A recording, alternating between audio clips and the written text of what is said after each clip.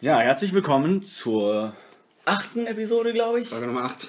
von Dreck und Gold, dem Podcast mit David Koslowski. und Adrian von Bauer. Guten Tag.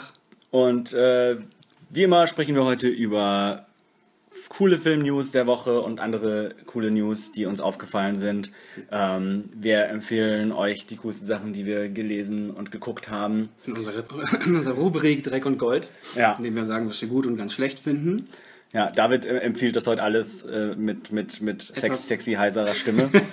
So, eigentlich spreche ich immer so. Nur ich mache stimme mich mal ein bisschen dumm und albern Mhm. im Podcast, damit ich äh, ein bisschen, damit du besser dastehst eigentlich. Ja, und ich, ich glaube, unsere äh, Hauptattraktion heute ist, äh, äh, dass wir eine Liste gemacht haben, jeder mit unseren Lieblingsfilmen des 21. Jahrhunderts orientiert am, Äh, am, genau. an der Umfrage von, von der BBC. Ja. Dazu sagen wir dann später nochmal mehr. Genau. Und jetzt geht's los. Jo.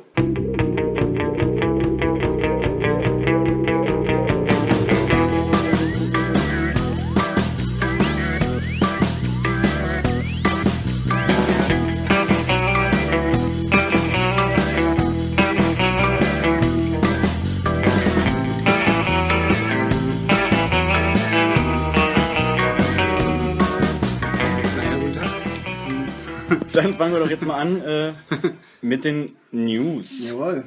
Das muss eigentlich, ich bin gespannt, was so vorgekommen ist. Ich habe in den letzten Tagen so, so krank gewesen, dass ich äh, Ja. nicht mitbekommen habe, was es Neues gibt, aber das ist vielleicht umso überraschender. Legen wir mal los mit einem, mit einem Doppeleintrag in unsere beliebte äh, Rubrik äh, TV-Serien, die auf Filmen basieren. Oh Gott, ja. Ähm, außerdem noch ein Eintrag in die Rubrik ähm, Vampirserien, die sind ja nicht erst seit gestern beliebt. Äh, und zwar wird es eine Fernsehserie auf dem Sender CW, der ja so Teenie-Serien macht, äh, geben, basierend auf The Lost Boys. Kennst du wahrscheinlich? Klar kenne ich den. Von Joel Schumacher, und so 80er-Jahre-Film, Kiefer Sutherland. Ja, geht so um eine Gruppe von Vampiren, rebellische Vampire, Ja, so Punk-Vampire. Teenager, Punk-Vampire. der war eigentlich ganz unterhaltsam immer. Da ist ja auch der, ähm, dieser junge Schauspieler, der immer in den ganzen 80er-Jahre-Filmen Ich glaub, drin war. Corey Feldman oder der andere Corey? Nee, Ja. Corey Feldman, genau. Ja. Der war in, äh, auch in Lost Boys, wie gesagt, und Stand By Me und solchen Mhm. Sachen. Und äh, mittlerweile versucht er immer noch dem Ruhm hinterher zu hecheln. Vielleicht wird er auch in der Fernsehserie vorkommen. Weißt du mehr Könnte ich darüber? mir vorstellen. Also, Also man weiß, glaube ich, ich vermute, dass es kein, keine Fortsetzung in dem Sinne sein wird. Ja. Ähm, die, äh, der Produzent ist Rob Thomas, das ist der äh, Creator von Veronica Mars Ja, und okay. von äh, iZombie zuletzt. Da kennt er sich auf jeden Fall mit mystischen, spirituellen und hypernatürlichen Sachen aus. So. Ja, und die, die Frage ist dann noch so ein bisschen, äh, wird das, wird, wird das wie, wie auch Veronica Mars und iZombie halt so ein, so ein sogenanntes Procedural-Element sein, also so ein Krimi-Ding. Sie müssen jede Woche, die Vampire müssen irgendeinen Fall lösen.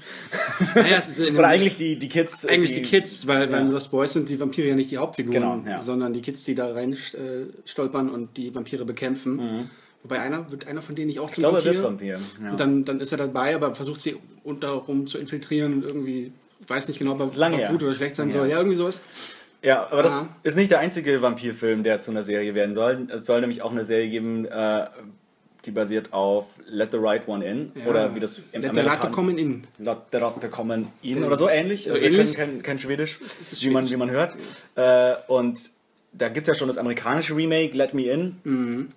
Ähm, das hat schon keinen interessiert eigentlich. Wobei ich von vielen letzter Zeit höre, dass das eigentlich ganz gut sein soll, weil es Ja. andere Sachen macht als der Ah, nicht, das so- es macht, es, ich habe es ich hab, gesehen, Ja. es macht nicht genug anders, finde ich. Es ist so. doch im Großen und Ganzen Okay. das Gleiche und nicht ganz so clever. Hm, schade. Es gibt so ein, zwei Szenen, die neu sind und wo man denkt, okay, das ist irgendwie ganz cool, da wurde was hinzugefügt, aber Und, ähm, nicht wirklich. Und jetzt machen sie nochmal ein Remake, diesmal als TV-Serie. Es wird also auch keine, keine Fortsetzung oder Prequel oder sonst was, sondern es wird nochmal die gleiche Story sein.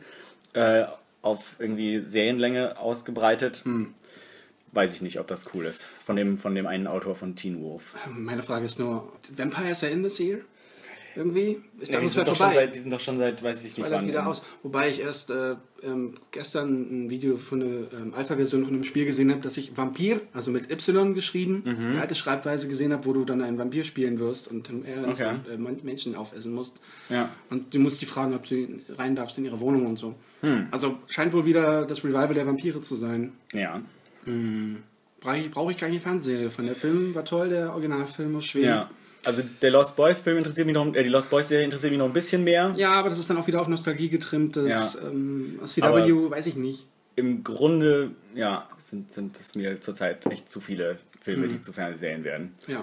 Ähm, dann gucken wir doch mal in die Superhelden-Ecke. Ja, der, der Regisseur von dem neuen DC-Film Justice, Justice League Dark ist, Mhm. äh, boah, bin ich heiser. ähm, Nochmal von vorne. ähm, es wurde angekündigt, dass es einen neuen Justice League-Film geben wird, und zwar nicht den eigentlichen Justice League-Film, der nächstes Jahr kommt, mit Superman und Batman, sondern Justice League Dark. Also die, dunklen, die dunkle Gerechtigkeitsliga. Und da ist jetzt ein Regisseur gekommen, der das machen wird. Und Doug Lyman, der zuletzt äh, Edge of Tomorrow gemacht hat. Ja. Der Film, dessen Titel einem nichts sagt, das ist dieser, dieser Zeitreise. Vielleicht kennt ihr ihn auch als, als das Live, Die, Repeat. Live, Die, Repeat. Ich glaube, das haben sie dann auf der DVD-Hülle, haben sie es dann geändert, den der Titel quasi. erfolgreiche Actionfilm. Doug Lyman hat ja nicht auch einen der Bourne-Filme gemacht? Den ersten. Den ersten, bevor Paul Greengrass das übernommen hat. Äh, außerdem, Mr. und Mrs. Smith. genau, Ja, der- Go. Also er, hat, er macht, also es ist nicht so ein Regisseur, dem man irgendwie so einen sehr starken eigenen Stil zuordnet. Aber er ist sehr temporeiches Kino. Aber, aber er macht eigentlich immer sehr solide Filme. Doch Er soll, ja. Der sollte eigentlich den, den neuen äh, X-Men Spin-off Gambit machen. Ist dann abgesprungen, stimmt. Da sind ja schon diverse Regisseure abgesprungen. Äh, Channing Ja. Tatum ist immer noch an Bord. Der ist irgendwie der Einzige, der diesen Film möchte. Oh Mann, hoffentlich wird das so eine Deadpool-Geschichte, dass der daran festhält und das so cool Und dann am findet. Ende doch noch cool wird. Ja. Deadpool eigentlich nicht, äh Quatsch, äh, Gambit jetzt nicht so die spannendste Figur ist eigentlich. ja.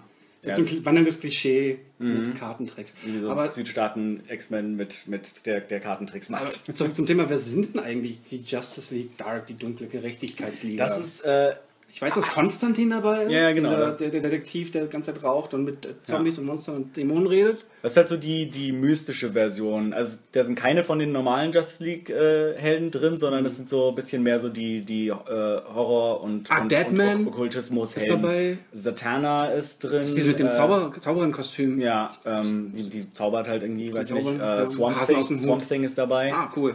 Ähm, ja, Und das so sind halt eigentlich eher so, eher so die Helden, die aus, aus, die, die so Mhm. aus dem äh, Vertigo-Verlag ins DC-Universum gekommen sind. Ja. Also, Und äh, Ich das sollte lange Jahre lang äh, Guillermo del Toro machen. ah, das wäre natürlich irre gewesen. Also Swamp Thing von Del Toro hätte ich ja super gern gesehen.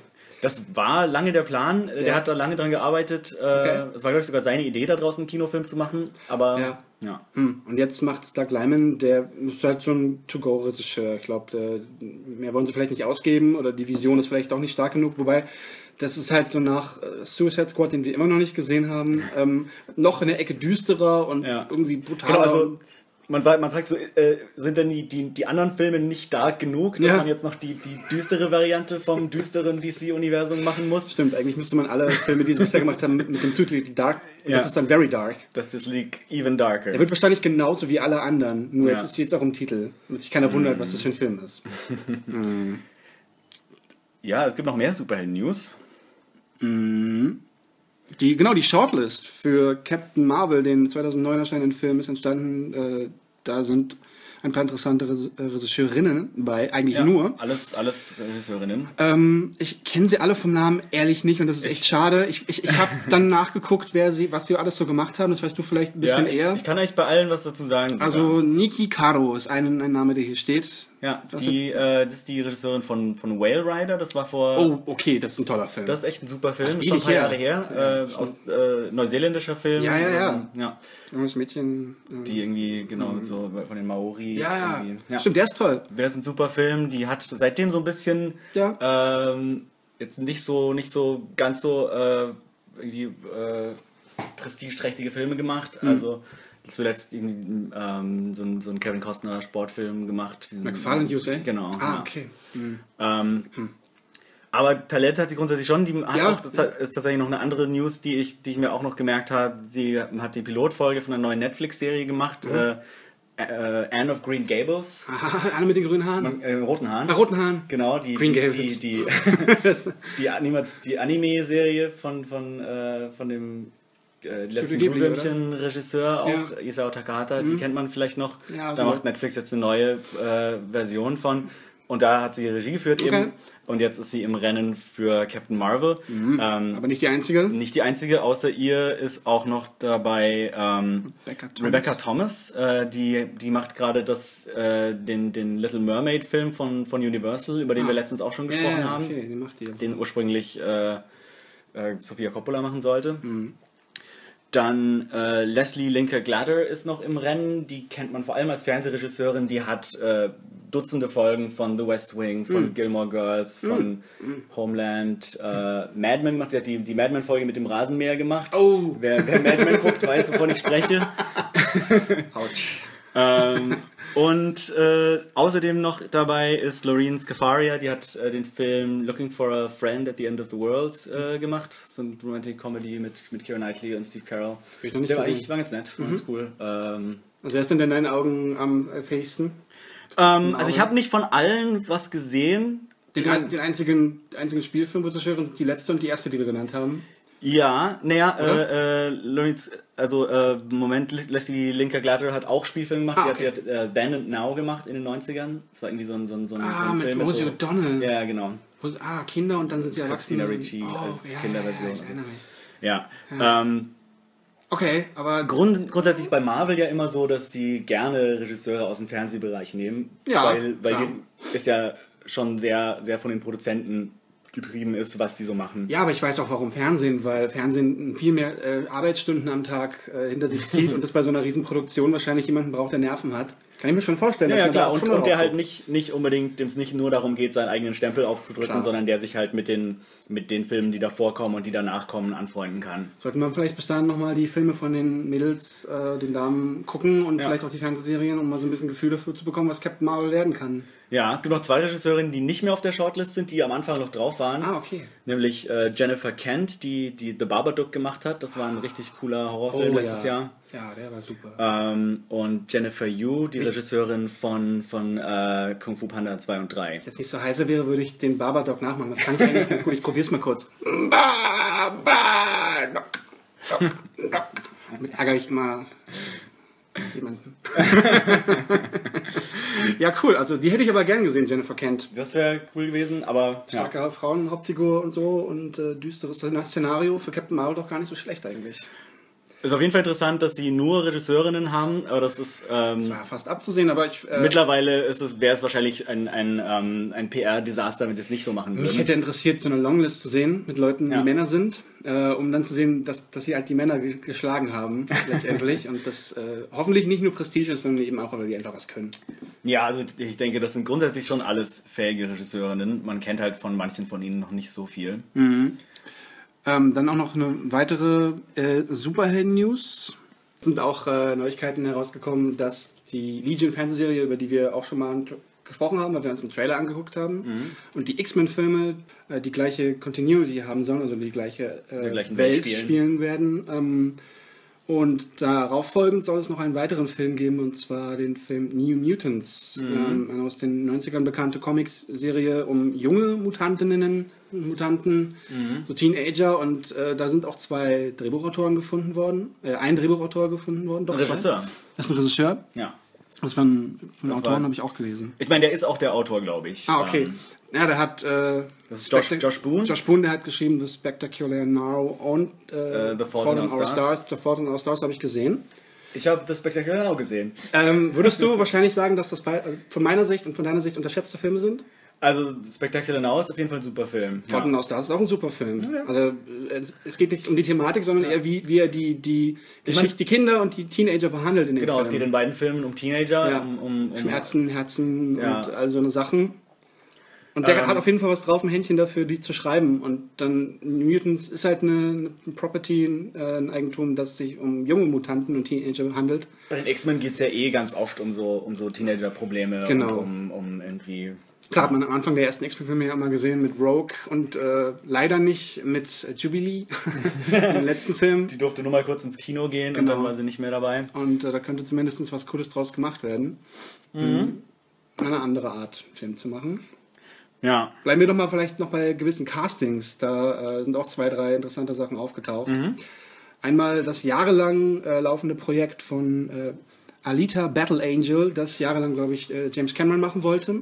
Ja, das war mal, er hatte, Lange glaube ich, die, die Wahl, äh, ob, er, ob er Battle Angel Alita oder, oder Avatar macht und hat sich dann für Avatar entschieden. Das hätte ich mir anders überlegt. aber gut, äh, aber hat, hat sich ein eigentlich äh, viel besserer Regisseur gefunden, und zwar Robert Rodriguez. Das ist doch kein besserer Regisseur. Für, das, für, das, für die Thematik, für das, das, was da gemacht wird, schon. Davon rede ich. Nee, nee, nee. Das ist ein besserer Das Regisseur äh, äh, für das, für das Thema. Nee, nicht. Also, es für ist die ein, Welt. Es ist ein, äh, eine Manga-Verfilmung von so einem äh, Cyberpunk-Manga. Ich kenne die gar nicht.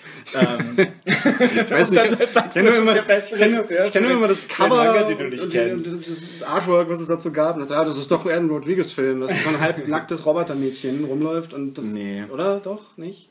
also ich meine, es geht um ein Robotermädchen, aber äh, also es ist eigentlich, eigentlich voll, voll James Camerons Welt. Hat doch schon Roboter Männer gemacht.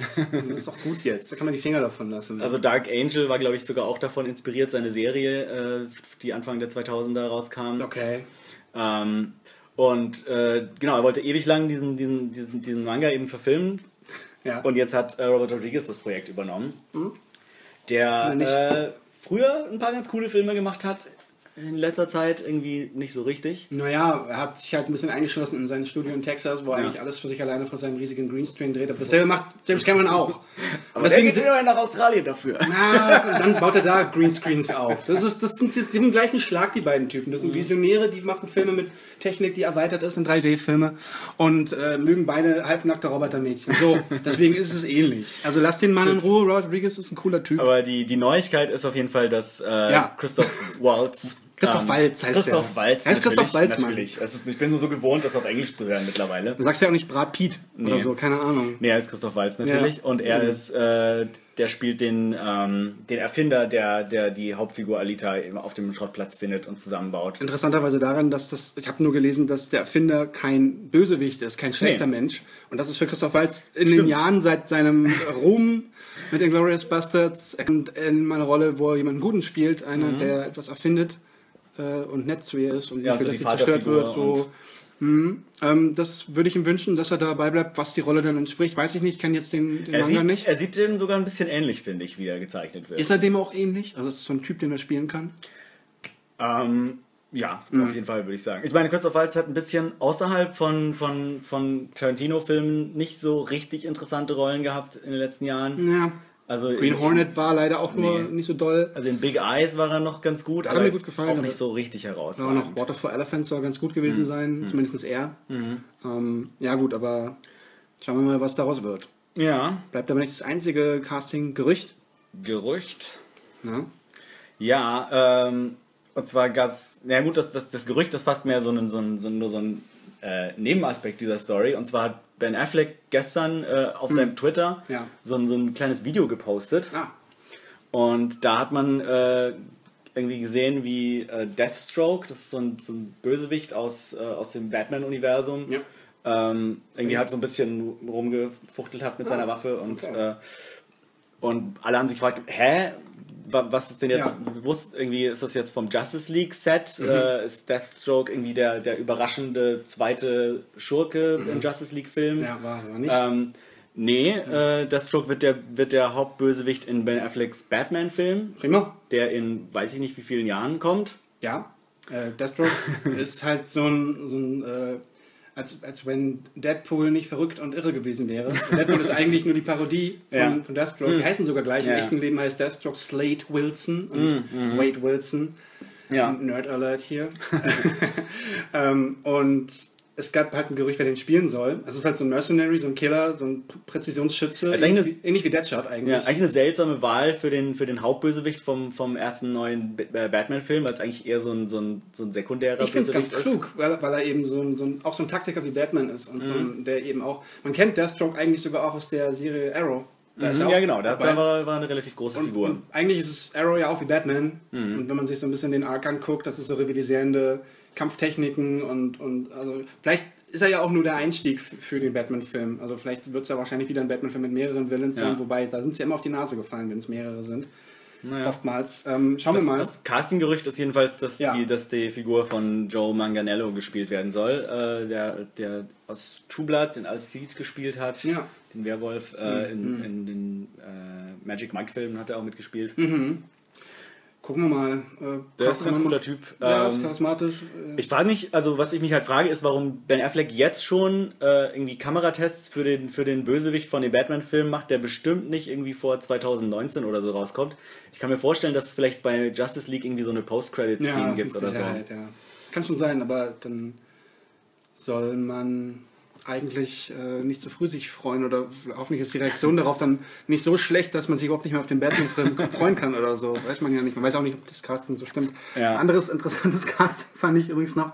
Ähm, kennst du die Fernsehserie Once Upon a Time? Darüber wollte ich gerade reden. Ja. Hast du sie weitergeguckt bis zur aktuellen Staffel? Äh, nee. Ich schon. Also ich weiß noch, die, er die ersten, ersten 15 Folgen, glaube ich, habe ich noch gesehen von der aktuellen. Und da geht es darum, dass die ganze Gruppe aus den Märchenfiguren äh, nach äh, Camelot reist. Quasi Zeitreisen oder so. Ich weiß auch nicht mehr, wie das zusammenhängt. Ja, das hat das- mit den Märchen haben sie irgendwann aufgegeben, glaube ich. Dann kam plötzlich Cruella de Vil und weiß Es nicht wird was. wahnsinnig schlecht Ja. irgendwann. Und, und äh, die letzte Staffel war auch nicht mehr so gut, dass ich sie weitergeguckt habe. Aber ich bin noch zu dem Punkt gekommen, eben, indem sie nach Camelot kam. Ähm, und unter König Artus wird Mhm. Ja. Camelot ja regiert. Und der Schauspieler, der den spielt, Liam Garrigan, Ja. von dem ich bisher auch nichts kannte, außer eben dieser Serie, wird im neuen Transformers-Film mitspielen. Ja, und zwar, ich, ich glaube, äh, wahrscheinlich äh, guckt Michael Bay die Serie auch. Guck gern ABC, ich habe sich inspirieren lassen. gedacht, äh, okay, äh, wir brauchen nämlich für Transformers, offensichtlich für einen Transformers-Film brauchen wir einen König Artus. Na, weil der Transformers-Film The Last Night heißt. Ja, und das wahrscheinlich und- irgendwas und mit hat- Roboterrittern zu tun hat. Oder vielleicht hat, hat er auch bei Google König Artus eingegeben und Ja. dann kam halt der Schauspieler hey, warum nicht?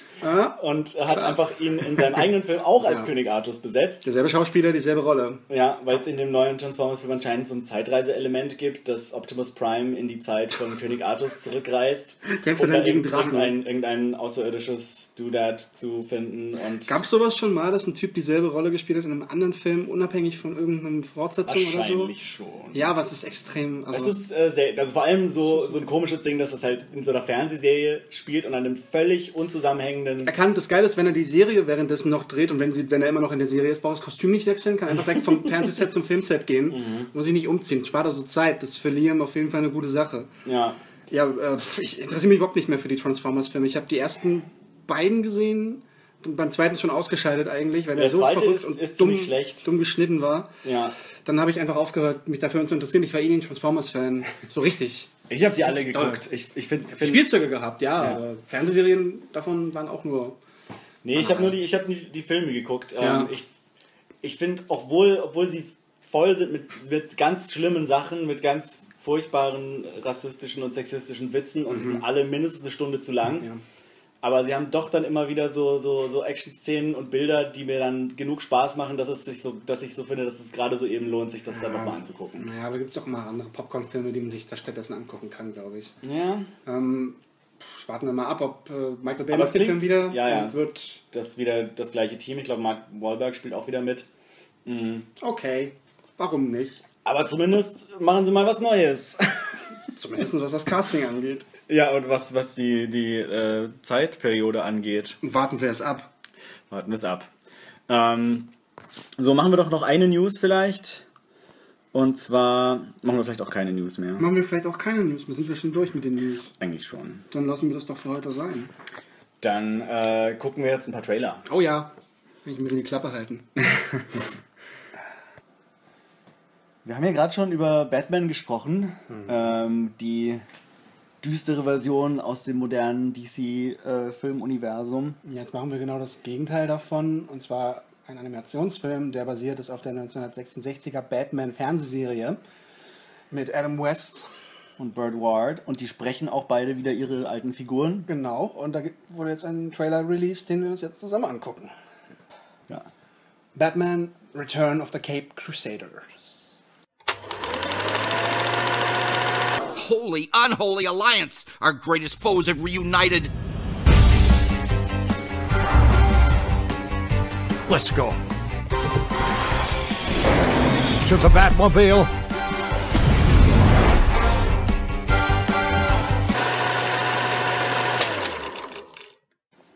Holy Animation Revival, Batman! Jo, äh, wenn, wenn Düsternis nicht hilft, dann scheinen wir ein Licht und zeigen albernen, verrückten Batman-Humor. Ich, glaube, ich glaube, die Batman-Serie aus den 60ern war fast das erste, was ich von Batman bis auf ein paar Comics so mitbekommen habe. Also es lief dann wahrscheinlich so in Wiederholungen im Kabel 1 Ja. oder was weiß ich, irgendein Fernsehsender.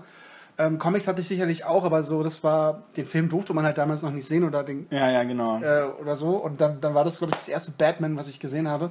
Ähm, also, kann, kann, hast du dir Batman je so vorgestellt? Weil, also, für die, die es nicht wissen, Ba- Batman ist hier nicht der dunkle, böse Ritter, sondern er ist ein ähm, Der nette Onkel. der nette Onkel, der einem Hinweise gibt, dass man nicht über die Straße äh, laufen soll, um, um auf die Ampel zu gucken oder auf die Straße zu gucken und, äh, und für sein, sein Mündel Dick Grayson immer darauf achtet, dass er sich auch ja benimmt. Ja. Ein sehr, sehr feiner Herr und er ihn aufnimmt und zusammen gegen ihn, gegen Verbrecher kämpft, ohne dass Blut fließt, ohne dass irgendwelche.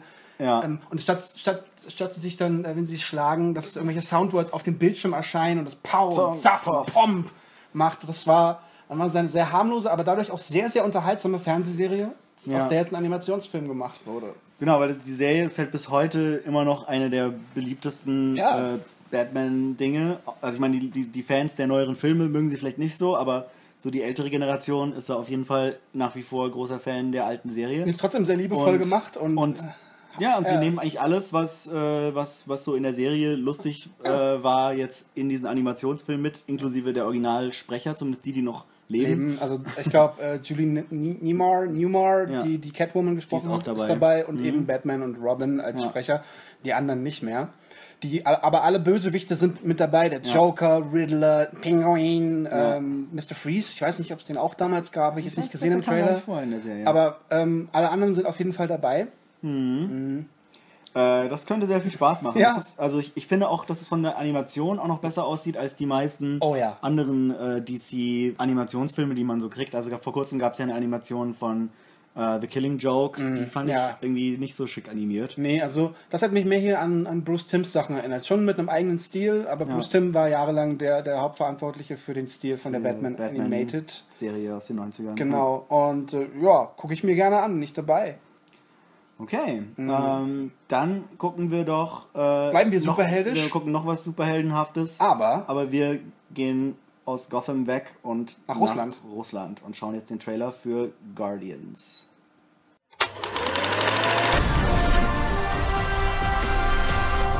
I've been waiting for this for half a century.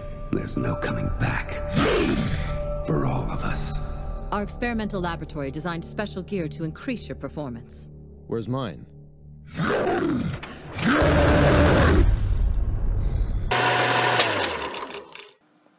what the shit? Neben dem, neben dem chinesischen Markt, über den wir ja öfters schon geredet haben, Ja. gibt es halt jetzt noch ein, ein weiteres Land, das, das irgendwie eine, ein sehr stark wachsende äh, äh, Kinopublikum und ein sehr stark wachsendes finanzielles Potenzial hat. Mhm. Und das auf Dauer vielleicht nicht nur die äh, äh, amerikanischen Superheldenfilme und so immer haben möchte, sondern ihre eigenen Actionspektakel inszenieren wollen. Finde ich gut. Und das ist jetzt eben Russland und, und ihre Antwort auf, auf äh, die Marvel- und DC-Filme. Durchaus. Ähm, wie wir wahrscheinlich im Westen nichts davon wissen, haben wir keine Ahnung, auf was das hier basiert. Der Trailer war jetzt in Englisch synchronisiert, Ja. ähm, damit wir was verstehen, weil wir kein Russisch sprechen. Ich habe trotzdem nicht wirklich verstanden, worum es geht. Ich habe nur gesehen, es, da war ein Team von Menschen mit außerordentlichen Fähigkeiten, wird zusammengenommen, wahrscheinlich von der Regierung, um eine große Bedrohung zu bekämpfen, von Ja. der ich gar nichts gesehen habe. Nee, ich habe nur irgendwelche es geht Militärpräsenz halt viel gesehen. kaputt und viel, viel, viele Gebäude stürzen zusammen Einen und so. relativ schlechten CGI natürlich. Also, äh, Also schon, schon stellenweise sieht es sehr gut aus, Ja, stellenweise nicht so. Nee, ähm, ist vielleicht noch im Entstehen begriffen, weiß man nicht. Auf jeden Fall, ähm, es hat so einen Look von, keine Ahnung, G.I. Joe, den man vielleicht kennt, so, Mhm. so, so metallischen grau, grauen Look, wie sie halt äh, mit, mit viel Special Effects und verschiedenen Waffen andere Gegner bekämpfen. Ein riesiger Bär taucht Ja, das- auf, ein, genau, einer also ein, einer der Helden ist, ist, ist ein Mensch mit einem Bärenkopf und einem Maschinengewehr. Es ist die Oder ein, Bär, ein Bär mit einem Menschenkörper. russischer kann man einen Superhelden nicht kreieren, oder? Ja. Also ein Bär, warum nun nicht? Äh, ja, und dann noch so ein, so ein Mädel, ähm, äh, die ihm irgendwie so Unsichtbar, glaube ich, kann, machen und kann. so ein Typ mit und einer so- langen Kette. Und so ein Typ mit Klingen. Und dann hat man, glaube ich, das Team schon zusammen. ja. Was sie genau machen, wissen wir nicht.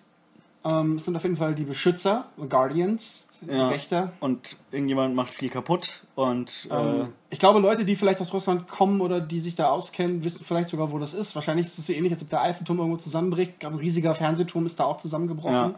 und weiß explodiert. jetzt nicht, ob das in Moskau war. Schwer oder, zu sagen, Ja. ich bin mir nicht ganz sicher. Ähm, so inszeniert sah er ganz okay aus. Also wahrscheinlich könnte er sogar ganz unterhaltsam sein. Sieht schon ganz gut gemacht aus. Allerdings ist, Mhm. gibt's, ich meine, es gab vor, vor einigen Jahren gab's diese, diesen Nightwatch und Daywatch-Filme. Von Timon Bekametov, der, der jetzt, der jetzt äh, Ja. Ben Hur gemacht hat. Genau, der Ähm, hat ja immer sehr visuell anspruchsvolle, tolle Filme gemacht. Genau, die haben auch sehr coole Trailer gehabt, aber die Filme selber fand ich dann fast so ein bisschen. Also den ersten mochte ich ganz gerne. Den zweiten habe ich überhaupt nicht langweilig. verstanden und auch nicht gemocht. Den ersten fand ich immer ganz gut. Ähm, ja, und der Regisseur ist jetzt hier nicht bekannt. Wir wissen auch nichts darüber. Ähm, Aber ja, also es sieht so ein bisschen verrückt aus, bisschen doch, doch anders genug als, als jetzt das, was man aus dem amerikanischen Superhelden-Kino kennt. wahrscheinlich. Und man kann auch froh sein, dass man mal ein anderes, äh, einen anderen Hintergrund für, für, für nicht immer New York wird zerstört und irgendein blauer Laser geht in die Luft oder Ja, vielleicht finden die, die finden da vielleicht ihren eigenen blauen Laser. Ja. Aber so. Ist ja äh, dann rot. Genau. Dann gucken wir doch jetzt mal einen Trailer für eine Fernsehserie. Äh, und zwar eine der wahrscheinlich irgendwie am, heiß, am heißesten erwarteten Fernsehserien Oh ja, des oh ja. Jahres. Wahnsinn. Jahrelang äh, oder monatelang, ein halbes Jahr lang verschoben, glaube ich sogar. Mhm. Neu, Neudrehs wurden gemacht. Ähm, die Serie Westworld, die auf einem Film aus den 60ern, 70ern, 70ern glaub ich. basiert. Ähm, mit, Hugh, mit Hugh Brynner. Ähm, gucken wir mal den Trailer zu der HBO-Serie Westworld.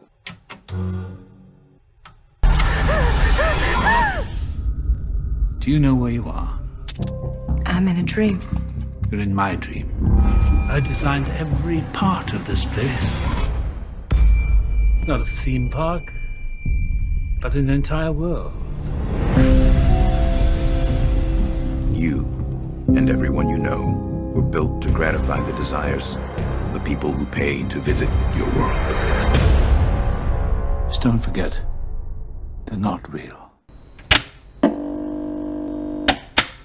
Kennst du den, äh, den alten Westworld-Film? Ja, aber ich habe ihn lange nicht gesehen.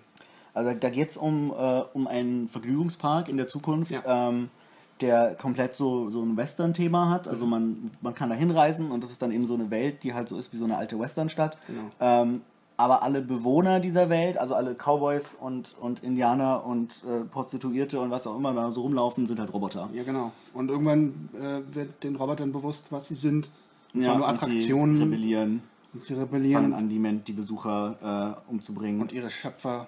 Das ist ja von, von Michael Crichton, der Jurassic Park gemacht hat. Das ist im Grunde storytechnisch so ein bisschen der Vorläufer von Jurassic Park. Klar. Der Vergnügungspark, wo die, wo die Attraktionen gegen die Besucher rebellieren. Wobei natürlich hier noch mehr ähm, die künstliche Intelligenz und das Menschlichkeitsein Klar. im, äh, im Vorthema steht, was bei den Dinosauriern nicht so ist.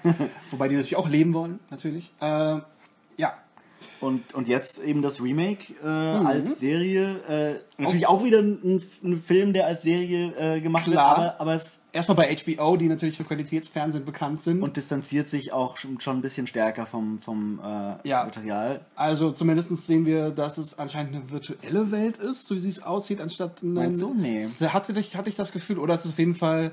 Ähm, Aber die Figuren sind schon Roboter. Man sieht ja teilweise, wie die zusammengesetzt Nein, nein, werden. es ist, ich dachte halt, es ist eine virtuelle Welt, aber die, die äh, stehen dann trotzdem in, ähm, in irgendwo rum. Und ähm, jedenfalls ähm, wird sie genauso beheimatet von Robotern, die auch nicht wissen, wer sie sind. Also da bleibt es gleich. Aber ähm, ich,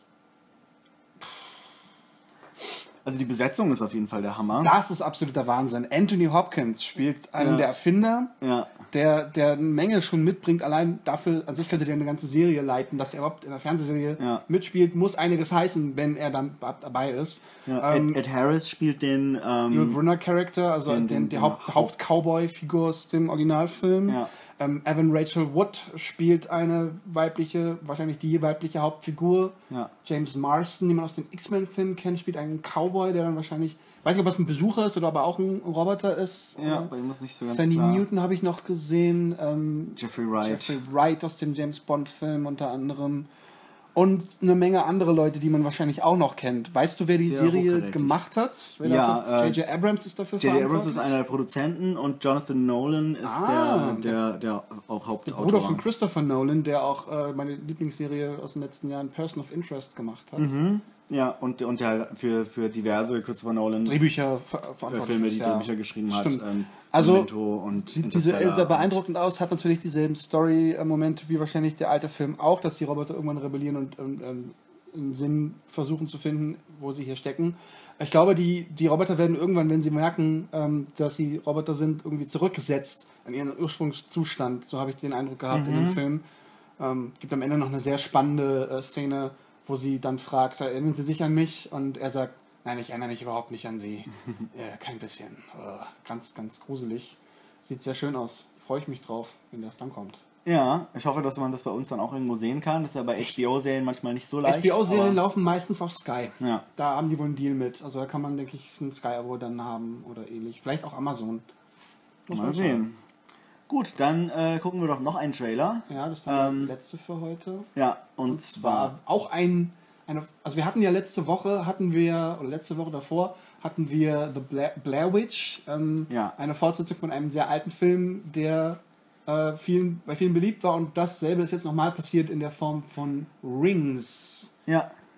Das ist der, nämlich die zweite Fortsetzung zum Remake des japanischen Horrorfilms Ring.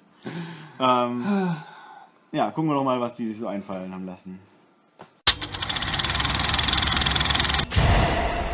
That's when she's coming for me. You want to know about the girl in the well. What does she want from me? This mark on your hand. It says rebirth.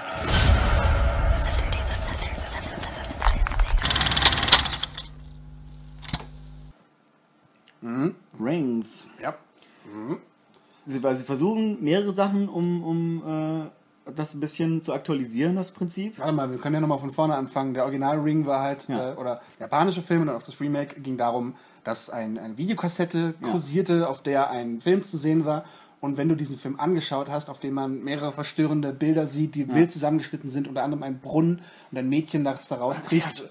Die, was? Und ein Pferd! Und ein Pferd! Gott, Erde! Ähm, wenn du das geguckt hast, das Video, dann stirbst du in sieben Tagen. Meistens hast du einen Anruf bekommen und dann, äh, du stirbst in sieben Tagen, sieben Tage bist du tot. Und das haben sie jetzt auch nochmal gemacht. Und ich dachte, was kann man noch Neues daraus machen? Ja. Scheint aber eine Methode gefunden worden zu sein. Hier äh, wird auch Ja. eine junge Frau, die, ähm, ich glaube, dann ein YouTube-Video oder ein Video, das ihr per E-Mail geschickt wird, äh, geschaut und dann äh, beginnt sie halt auch den Horror zu durchstehen, in sieben Ja. Tagen zu sterben. Genau, An- das- ja. Aber passiert wo, dann immer mehr auf so verschiedenen Bildschirmen. Es gibt irgendwie dann Genau. so eine Szene im Flugzeug, wo auf jedem, jedem Monitor an jedem Sitz dann dieses Video läuft. Oh Mann, oh Mann. das Ähm, ist echt creepy, weil normalerweise war es so in einem Raum und ein Fernseher. Genau, du hattest die Videokassette und wer die Videokassette hatte, war in Gefahr und sonst Ja. halt eher nicht. Genau, und jetzt sind alle anscheinend in Gefahr. es übers Internet sich verbreitet oder so. Ganz schlimm. Nicht, dass es irgendwann das neue Rick Rolled wird. Äh, Oh nein! Es hat mir jemand das Video geschickt, das muss ich sterben. ähm, es, es fügt aber noch was hinzu, Ja. was ich ganz interessant finde, und zwar so ein, so ein Body-Horror-Element. Genau, so dass sich, dass von sich, innen heraus dass sich so die, irgendwie- dass irgendwie sie so Mutationen durchmacht. Ja, ja. Und, und dann irgendwie so, so, so, ein, so ein langes äh, äh, Haarknäuel auskotzt, so Ja. Katzen-Style. ihre Hände zusammenwachsen und Ja. solche Sachen. Also äh, es scheint wieder alles sehr creepy und eklig zu sein. Und die Bilder waren auch sehr, sehr, sehr cool und, Ja. und verstörend. Ich bin, glaube ich. Ich meine, die, die Hauptfigur sieht für mich jetzt auf den ersten Blick so ein bisschen generisch aus. Ja. Also Naomi Klar. Watts war schon irgendwie eine, eine, äh, halt eine sehr etablierte, gute Schauspielerin. Ja, und jetzt ist halt irgendwie so. Ich meine, ich weiß, ich kenne die Schauspielerin nicht, vielleicht Nee. ist sie sehr gut, aber auf den ersten Blick wirkt sie jetzt halt eher so wie so die, die nächste Teenie. Horrorfilm-Darstellerin, die man so kennt. Ja klar, abwarten. Mindestens hat es, ist aber nicht die einzigen Darsteller, die man sieht, als anscheinend äh, weiser alter Mann. Ist, Blinder alter Mann, Blinder, Der, kann das, der kann das Video nicht gucken. Nein, äh, der heißt Vincent D'Onofrio, ganz toller Schauspieler. Ja, der hat den Full Metal Jacket. Genau, äh, zuletzt hat er in, in Daredevil den ähm, Kingpin gespielt. Kingpin gespielt. Ja, sehr beeindruckend. Das, jetzt ist er mal blind. Ja, genau. Äh, warten wir gespannt darauf, was die, die Remakes und Fortsetzungen von noch beliebten Horrorfilmen aus den letzten 15 Jahren zu bieten haben. Da war ja einiges dabei. Ähm, ich kann mir vorstellen, dass der ganz gut wird. Ähm, unterhaltsam ich auf bin jeden, Fall. interessiert. Ja. könnte auch ein Reinfall sein, aber so vom Trailer her sieht es ganz cool aus. Ja, und dann Dann äh, gehen wir jetzt zum nächsten Teil über.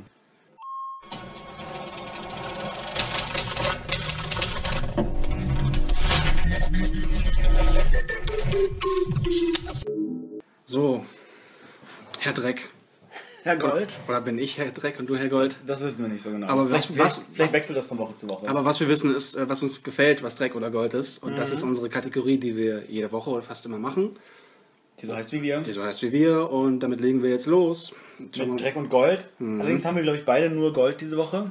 Ja, manchmal ist das so. Ne? Manchmal hat man einfach nichts, was einem nicht so ja. gut gefällt oder so. Oder dann war man doch überrascht von etwas. Kann man sich eigentlich auch freuen. Genau. Äh, erzähl doch mal, über was du dich so gefreut hast. Ähm, ja, also bei mir, ähm, ich, wir haben ja letzte Woche über das Fantasy Filmfest gesprochen, über die beiden Filme, die zusammen gesehen haben. Ich habe jetzt noch zwei Filme äh, ohne dich geguckt. Ja, ich wollte eigentlich mitkommen, aber dann war ich noch nicht so begeistert. Aber ich hätte es wohl machen sollen. Ja, also zumindest beim zweiten. Aber, Okay, erzähl ähm, doch mal, was das war. Genau, ich habe ich hab nämlich so eine Art Double Feature gesehen, also zwar an, an zwei verschiedenen Tagen, Ja. aber es äh, sind zwei Filme vom gleichen Regisseur Mhm. und zwar von äh, Yeon Sang-ho. Yay, das ist richtig ausgesprochen. Wahrscheinlich, das werden uns Koreaner sagen können. Hoffentlich. Ähm, das ist ein koreanischer Regisseur, der bisher vor allem äh, Animationsfilme gemacht oder eigentlich ausschließlich Animationsfilme gemacht hat. Mhm. Äh, King of Pigs war, war so sein, sein größter Erfolg. Bisher den habe ich auch nicht gesehen. Mhm. Ähm, der hat jetzt gleich zwei Filme äh, beim Fantasy Filmfest gehabt. Der eine äh, heißt Soul Station. Mhm. Ähm, das ist ein Animationsfilm und der ist das Prequel zum Film Train to Busan, Mhm. der äh, auch in Cannes schon lief. Ähm, und das sind beides Zombie-Filme, die in Korea spielen. Ähm, und das war ziemlich cool. Ähm, Okay. Der beim, bei Soul Station am Anfang, also das war der, der zuerst lief, weil er ja auch äh, irgendwie einen Tag vor dem anderen spielt, von der Handlung her. Geht es halt so darum, wie, wie, wie die Zombie-Seuche langsam in, äh, in Seoul, in Korea, ausbricht. Ähm, es geht um verschiedene Figuren, es geht um, um so Obdachlose, es geht um so ein junges Mädchen, das von zu Hause abgehauen ist und, äh, und ihr Freund, der sie sucht, während eben überall so die Zombies anfangen, die Stadt zu übernehmen. Ähm, so für die erste, also es ist ein anderthalbstündiger Film und ich glaube fast für die erste Stunde lang ist es so ein relativ standardmäßiges äh, Zombie-Ausbruchsszenario. Es ist Okay. es sieht ganz schick aus, weil es halt diese Animationstechnik ist, äh, zwar so ein bisschen, fast ein bisschen billig animiert, also Okay. es sieht, sieht aus wie handgezeichnet, aber es sind, glaube ich, doch 3D-Modelle, die dann halt so flach gerendert sind. Naja, ganz Und dadurch, genau. das kann ganz cool sein, aber dadurch sehen die halt so ein bisschen steif aus. Oh, okay, ich. ja. Ähm, Und also als Standbilder sieht das alles total cool aus, aber wenn die Figuren sich dann bewegen, dann ist so ein bisschen, ein bisschen Computerspieloptik. Okay. Ähm, Und das, das fand ich so ein bisschen, naja, okay, einerseits coole Bilder, andererseits bisschen, irgendwie so ein bisschen stockend. Ähm, und die Story ist auch so ein bisschen standardmäßig. Es ist so ein, äh, es ist halt, ja, Zombie-Seuche bricht aus. Klar, äh, wie immer das Man, man kennt es irgendwie schon. Ja, ja, und dann. Ähm, aber so gegen Ende wird es dann doch sehr, es wird sehr düster. Es Okay. wird, äh, Was es heißt ein bisschen düster? Also- Es passieren halt äh, so Sachen, die relativ krass sind, wo man Okay. halt sagt so, okay, das hätte ich jetzt nicht erwartet. Also einfach so, so Twists innerhalb der Handlung, die jetzt gar nicht unbedingt mit den übernatürlichen Sachen zu tun haben, sondern eher mit den Figuren. Aber das ist doch immer so bei Zombie-Filmen. Da geht es mehr um die Menschen und um die Idioten Ja, da dabei. Und, aber da kommt Aber- was vor, was man halt auch noch nicht so gesehen hat. Ja, ja, schon. Also, Okay, cool. Finde ich, fand ich schon. Äh, und es geht so ein bisschen um die politische Dimension. Man sieht so, Ah, wie das okay. Militär äh, darauf äh, reagiert Ja. und, und irgendwie dann gegen die eigene Bevölkerung vorgeht. Oh, krass. Und, und ich meine, ich kenne mich mit koreanischer Politik jetzt nicht so aus. Naja, nee, aber wenn kann Regierung ich dich im Stich lässt, das ist schon eindeutig. Kann ich halt nicht so, nicht so genau sagen, äh, Ja. wie viel davon jetzt ein exakter Kommentar ist, aber gerade so diese obdachlosen Figuren und so und wie dann ähm, die halt ignoriert Ah, okay. werden. Obdachlose. Das finde ich eigentlich ganz cool. Ja, okay. ähm, Mhm. Also so gegen Ende fand ich den dann richtig cool. Äh, und äh, habe dann, dann gedacht, okay, dann gucke ich mir jetzt doch den Folgefilm auch noch an. Ja. Und den fand ich dann richtig cool. Okay. Also der äh, spielt größtenteils in einem Zug. Ja. Es erinnert irgendwie an, an Snowpiercer. Oh ja. Äh, wo sie halt sich durch den Zug kämpfen müssen, der halt größtenteils von Zombies überrannt ist. Aha.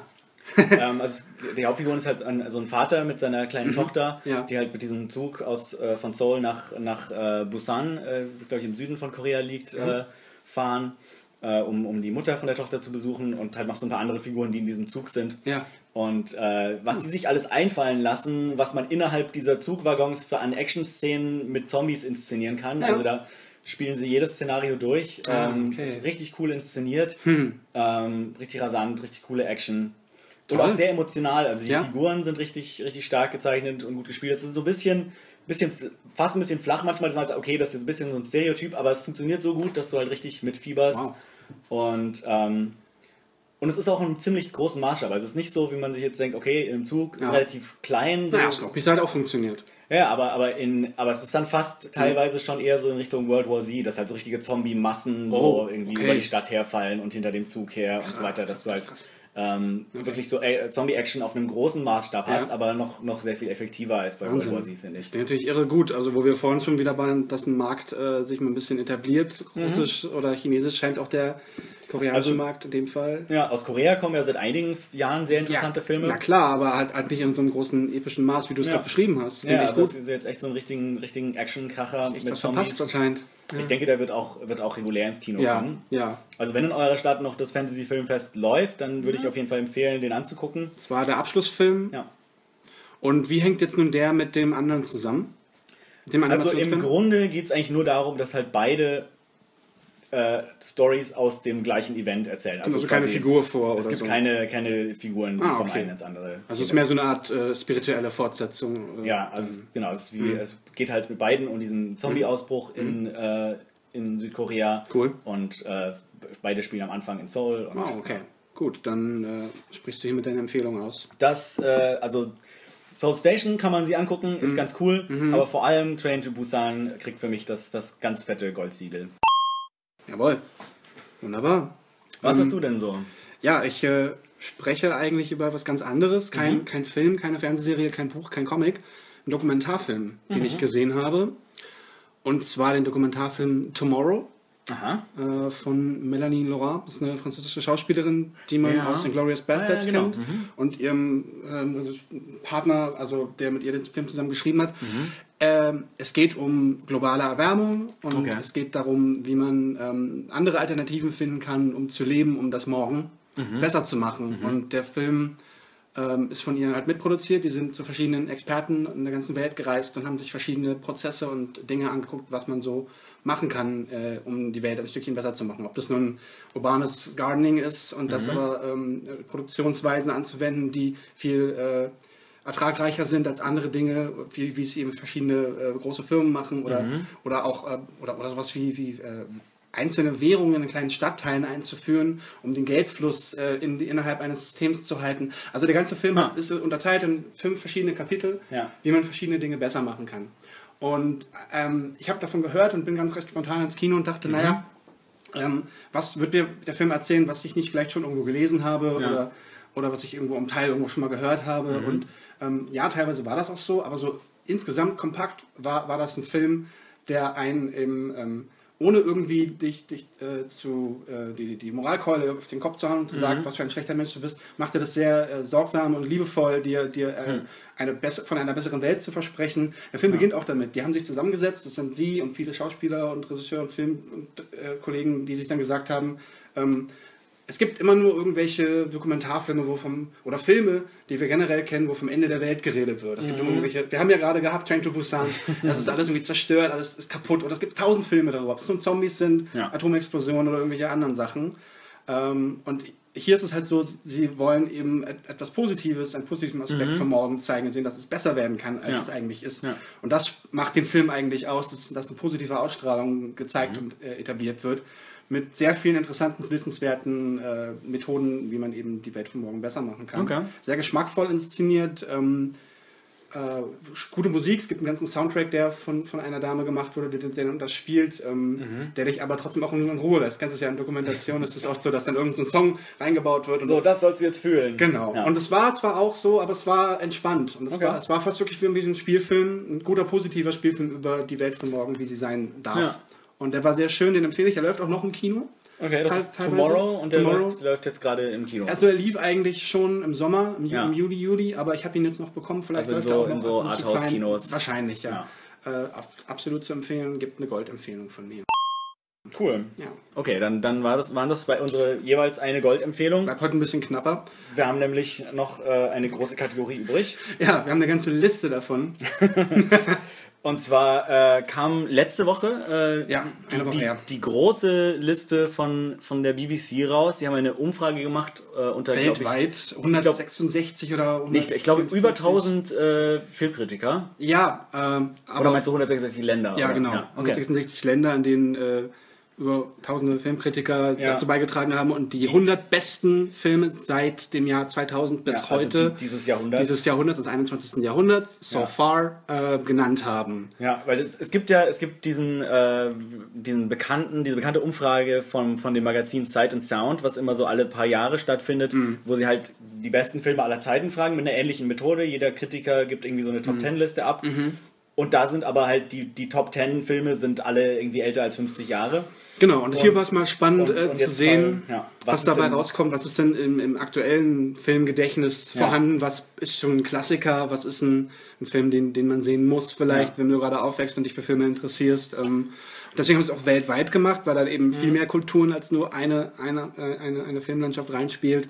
Und wir haben das auch gemacht. Wir ja, also wir, wir wurden leider nicht gefragt. leider nicht Warum gefragt. auch immer. Dreck und Colt ist äh, re- renommiert dafür, Filmwissen Ja. äh, nonchalant äh, aber wir haben, wir haben gesagt, wir machen einfach trotzdem jeder eine Top Ten Liste. Also ich habe sogar eine Top 100 gemacht, aber, aber an der arbeite ich noch, weil das ist echt nicht einfach. Ja. Wir beide arbeiten jetzt äh, unsere Top 10 Liste ab, Ja. aber wir machen das nicht ähm, Top 10 bis Top 1, würde ich sagen. okay, ich würde sagen, wir mal abwechseln einfach. Aber haben wir nicht vorher gesagt, dass wir das ohne äh, Bewertung machen, sondern das Achso, nee, wir machen es genau, wir machen wir machen es nicht in der Reihenfolge. Ja. Das, das war irgendwie Das war der Plan, oder? Zu- Damit es zu schwer? Das ist einfach zu schwer. Ich habe halt Filme auf 1 und 2 gesetzt, wo ich dachte, ja, die sind total gut, aber dann ist auf mir Platz 3. Das Ja. Ich, ich werde ich werd die Liste auf jeden Fall noch veröffentlichen, auch in der Reihenfolge mit der Bewertung. Aber ich glaube, wir machen es abwechselnd, ähm, trotzdem nicht, Mhm. Genau, äh, irgendwie nach nicht vom Besten zum alphabetisch oder wie Schlechten. auch immer. Ich würde sagen, wir machen es Einfach, alphabetisch. einfach, ja. Ich habe es mir alphabetisch aufgeschrieben. Ja, ähm, aber fangen wir von unten an. ja. Äh, ich fange mal an. Okay. Okay, ich bin gespannt.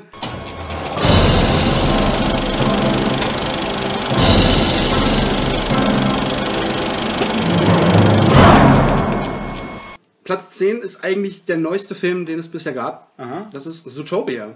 Ah, okay. Ähm, war ich auch ganz überrascht, dass der dann noch auf Platz 10 gekommen Ja. ist. Ich habe auch noch lobende Erwähnungen, die ich später noch nennen kann. Ja, ja. Und wahrscheinlich, es ist einfach super streitbar, ne? Mhm. Äh, Themen, Filme zu vergleichen. Ähm, aber Zo- Zootopia ist für mich ein essentielles, modernes Märchen, Mhm. äh, das, das heutige Themen einfach etabliert wie Fremdenhass und Gleichwertigkeit in unserer Gesellschaft. Ja. Wunderschön inszeniert. Ähm, Disney-Animation auf dem höchsten Maß, ähm, tolles Charakterdesign, tolle Mhm. Musik, ein großartiges Paket. Also ich habe mich halt einfach dafür entschieden, weil ich habe Filme drin, die mir entsprechen Mhm. und von jedem Genre irgendwie etwas und von jeder Art etwas. Und ich muss, ich habe zwar noch einen anderen Animationsfilm, aber der steht einfach für Disney Mhm. und für eine neue Revolution, die Disney halt bringt mit alten ähm, Story-Elementen, die natürlich beliebt sind, aber Ge- Geschehnissen und, und, und äh, Fehlern und Problemen, die Leute haben, die halt in ein, ein Maß gebracht wurden. Und Zootopia ist irre gut. Also für der, der es nicht, wollen wir eigentlich immer darüber reden, was das für ein Film ist, oder wollen wir den nur nennen? So ein bisschen, also es soll halt nicht äh, Okay, ganz kurz. von der Länge her. Zootopia ist halt einfach eine Gesellschaft wie unsere, nur es sind anstatt Menschen es Tiere. Ja. Und ähm, es geht um eine junge Hasendame, die Polizistin werden will, wobei ihre Familie eigentlich Hasen, äh, Karottenfarmer sind. Ja. Und alle einem sagen, du musst nur das sein, was du eigentlich geboren ha bist. Hasen haben bei der Polizei nichts zu suchen. Genau, sondern nur. Äh, und ähm, die ganze Welt ist äh, nicht getrennt, aber es geht auch darum zwischen äh, äh, ähm, Jäger und Gejagte, also Prey und Ja, Beutetiere äh, und- Beutetiere und- und Raubtiere. Raubtiere. Und sie freundet sich, oder erst ist sie äh, ähm, auf der Jagd nach etwas, muss als Politesse arbeiten und dann äh, begegnet sie einen Fuchs, einen Fuchs, der eigentlich immer, ja, ist schleimig und schwierig und ja, ge- gemein und, und fies und äh, freuen sich aber irgendwann an, an im Laufe dieser Geschichte. Aber der ganze Film äh, behandelt halt die, die Freundschaft, das ist eine Buddy-Cop-Comedy Ja. der ähm, für mich eigentlich essentiell alles zusammengebracht hat, was ich heutzutage sehen möchte. In Animationsfilmen, in, in Kindergeschichten, der als Erwachsenenfilm großartig funktioniert. Ähm, muss, muss für mich einfach essentiell damit drauf. Ähm, Wie Okay. gesagt, kann man darüber streiten, auch mit meinen späteren Erwähnungen. Was ist dein Platz 10? Ähm, Oder dein, ja, also dein erster Platz? Am, am Ende des Alphabets bei mir äh, Ja, genau. steht tatsächlich auch ein Animationsfilm. Und Aha. zwar äh, The Incredibles. Oh, der war auch fast dabei. ah, ja. ähm, die Unglaublichen. Äh, von Pixar. Pixars äh, Superhelden-Animationsfilm Mhm. äh, von Brad Bird von äh, 2001, Mhm. 2002, glaube ich. Ähm, der bis jetzt immer noch der beste Superheldenfilm ist, meiner Meinung nach. Ähm, der, äh, also die Animation, ich habe mir tatsächlich vor kurzem nochmal angeguckt. Ja. Die Animationen sind schon so, dass man heutzutage sagt, okay, das, das sieht auf jeden Fall nicht mehr so aus, wie jetzt Animationsfilme aussehen. Aber das muss ja nicht Aber es heißen. Ist, es ist trotzdem extrem äh, stylisch und, und wahnsinnig gut durchdacht von, von, den, von den Bildern her. Worum geht's denn? Und äh, es geht halt um eine äh, Superheldenfamilie, Mhm. ähm, die aber in einer Zeit lebt, wo, wo Superhelden quasi verboten wurden. Also Weil sie zu viel Schaden anrichten. weil sie, weil sie immer zu viel Schaden anrichten, Ja. deswegen müssen sie im Geheimen leben Ja. und müssen sich wie normale Leute verhalten. Und es geht halt dann äh, so einfach so thematisch geht es halt darum, ähm, ob man, ob man halt Leuten, die besondere Sachen äh, können, dazu zwingen soll, äh, sich irgendwie in eine normale Gesellschaft einzugliedern. Ja. Ähm, Auch genau, ähnlich wie mein eigentlich. ja, so ein bisschen, genau. Es geht, geht um, um. Vorurteile auch Ja. so ein bisschen und ähm, ja. und es ist einfach eine, ein enorm unterhaltsamer Film, der auch ja. sehr, sehr irgendwie sehr, sehr starke emotionale Komponente hat durch diese Familienbeziehungen. Ähm, und, Weil jeder hat so sein, sein Problem, das er Ja. mit reinbringt, wie eine Familie eben so ist. Und, und die, die Superheldenfähigkeiten orientieren sich auch immer an der Persönlichkeit und Ja. an, den, an den Problemen, die Ja. die Leute haben. Ja. Und das, ja, und das äh, funktioniert immer noch großartig und ja, ist meiner Meinung nach einer der besten Filme der letzten Jahre.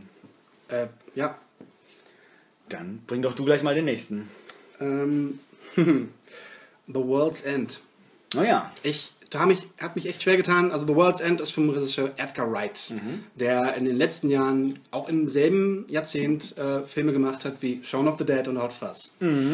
Ich habe mich echt geschlagen, äh, welchen Film ich da reinbringen soll, weil alles sind Komödien, Ja. aber jeder hat ein anderes Genre als Grundlage. Der hier hat Science Fiction, die anderen beiden sind Polizeifilme und Horror-Zombie-Filme. Ja.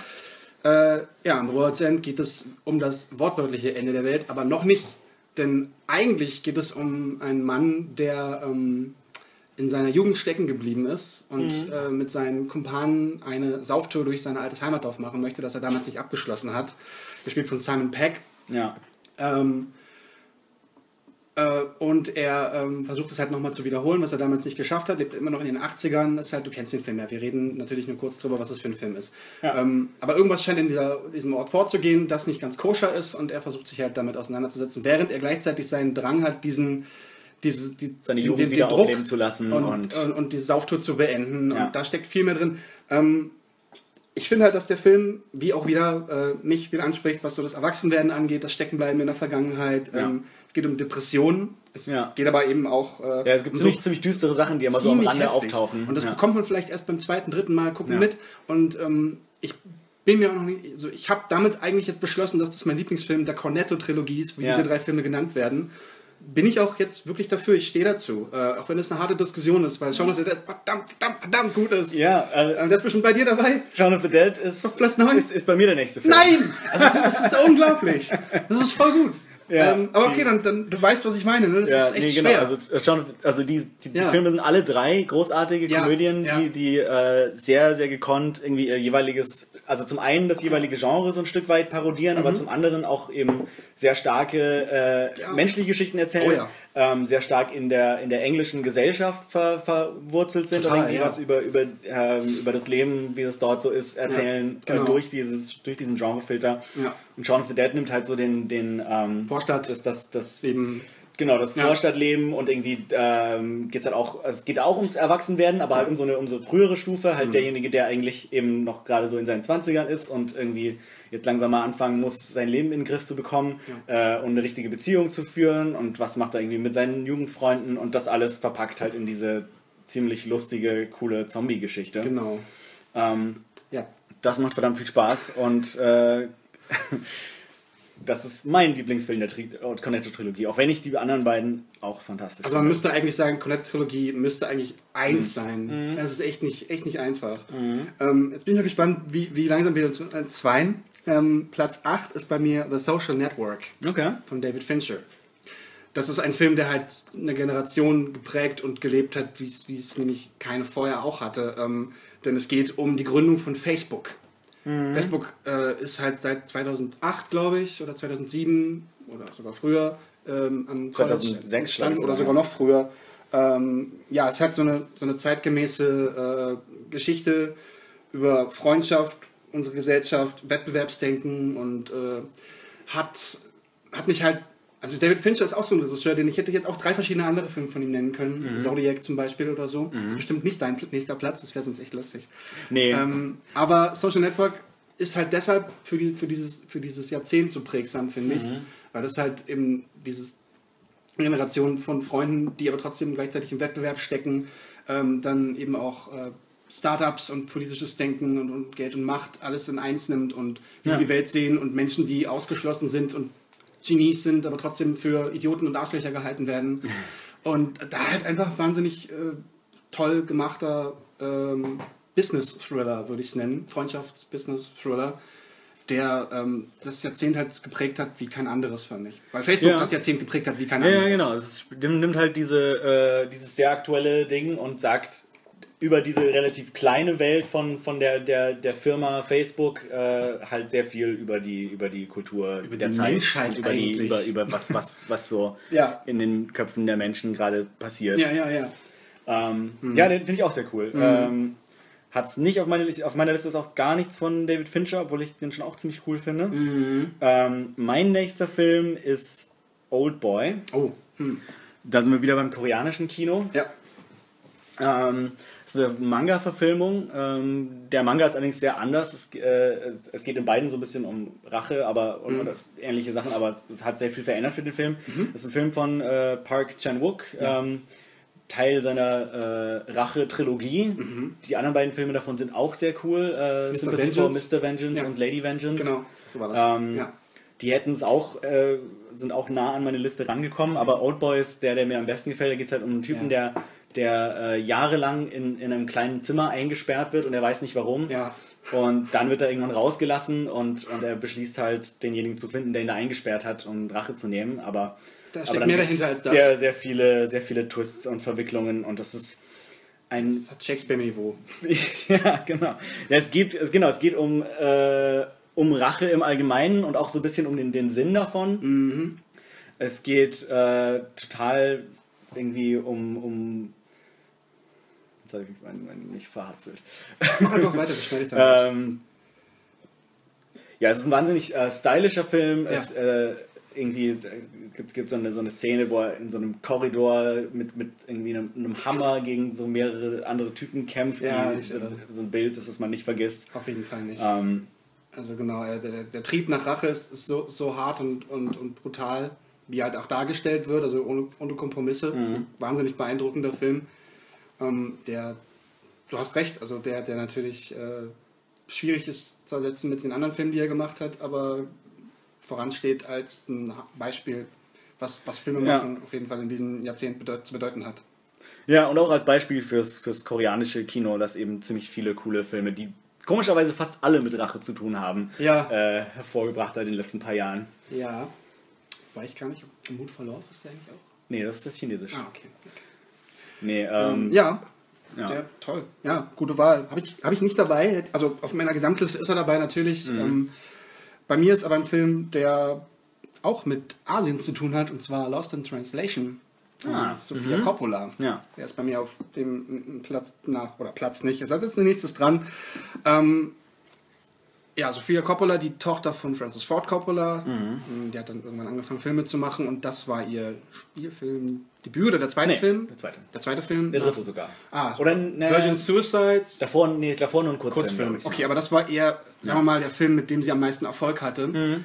Ähm, es geht um einen alternden Schauspieler, gespielt von Bill Murray, der nach Tokio reist, um einen Werbespot zu drehen. Mhm. In einem Hotel absteigt, da eben bleiben muss für die Zeit, in der er da ist. Und in dem Hotel äh, ein junges Mädchen kennenlernt. Die eigentliche Hauptfigur ist gespielt von Scarlett Johansson, die eigentlich nur dort ist, weil ihr Mann Fotograf ist Ja. und sie da äh, ihn begleitet und eigentlich total langweilig ist und sie gar nicht weiß, was sie machen soll. Und dann trifft sie irgendwann Bill Murray und äh, sie freuen sich an. Mm. Der Film ist halt wunderschön gedreht, ähm, hat so eine, so eine Leichtigkeit, so eine, so, eine, so eine Melancholie, die mitschwingt, weil beide nicht wissen, obwohl sie am anderen Ende ihres Lebens quasi stehen. Die eine ist ganz jung und irgendwie 18, 20 und er ist äh, um die 60 und weiß nicht, was er mit sich anfangen soll. Und beide finden halt diesen Punkt, äh, in dem sie quasi ihren Seelenpartner finden. Sie wissen genau, was der andere denkt, sie wissen genau, wie man sich fühlen muss, sie wissen Ja. genau, wie, wo ihr irgendwie Platz in der Welt ist. Ähm, aber nur in dieser, in dieser Blase, in diesem Hotel oder in Tokio an sich, stehen sie halt für sich zusammen und, und müssen versuchen rauszufinden, wer sie eigentlich sind. Sie haben jetzt so eine, so eine wunderschöne, kompromisslose Bindung. Also es geht nicht, Ja. es geht nicht wirklich um, also es geht nicht auch, es ist keine Liebesbeziehung, es ist keine Freundschaft an sich, es ist irgendwas dazwischen. Ähm, und der, es geht um Zweisamkeit und, und einfach jemanden zu haben, weil beide sind er ist irgendwie fast von seiner Frau geschieden, sie ist zurückgelassen von ihrem Mann, der, der, der nur Ja. irgendwie Fotografie und sonst eine Party im Sinn hat und sie alleine lässt. Ja. Und endlich findet man jemanden, der, der einem was bedeutet und egal, ob es nur eine Beziehung ist oder nicht. Ja. Ähm, du hast hier einen wunderschönen, melancholischen, traumhaften Film mit toller Musik, tollen Bildern, tollen Darstellern. Mhm. Zu Recht Oscar-nominierten Bill Murray und wunderschöner Scarlett Johansson, die zu Recht auch ihren Platz gefunden hat als einer der besten Schauspielerinnen. Schon damals, Ja. eigentlich.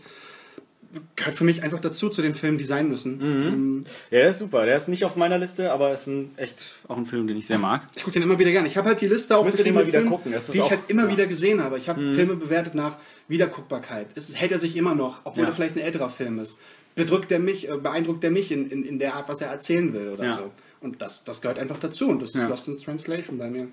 Ja, äh, wusstest du, dass, dass die Figur von, äh, von Scarlett Johansons Freund in dem Film basiert ist auf Sofia Coppolas Ex-Freund, nämlich Spike Jones?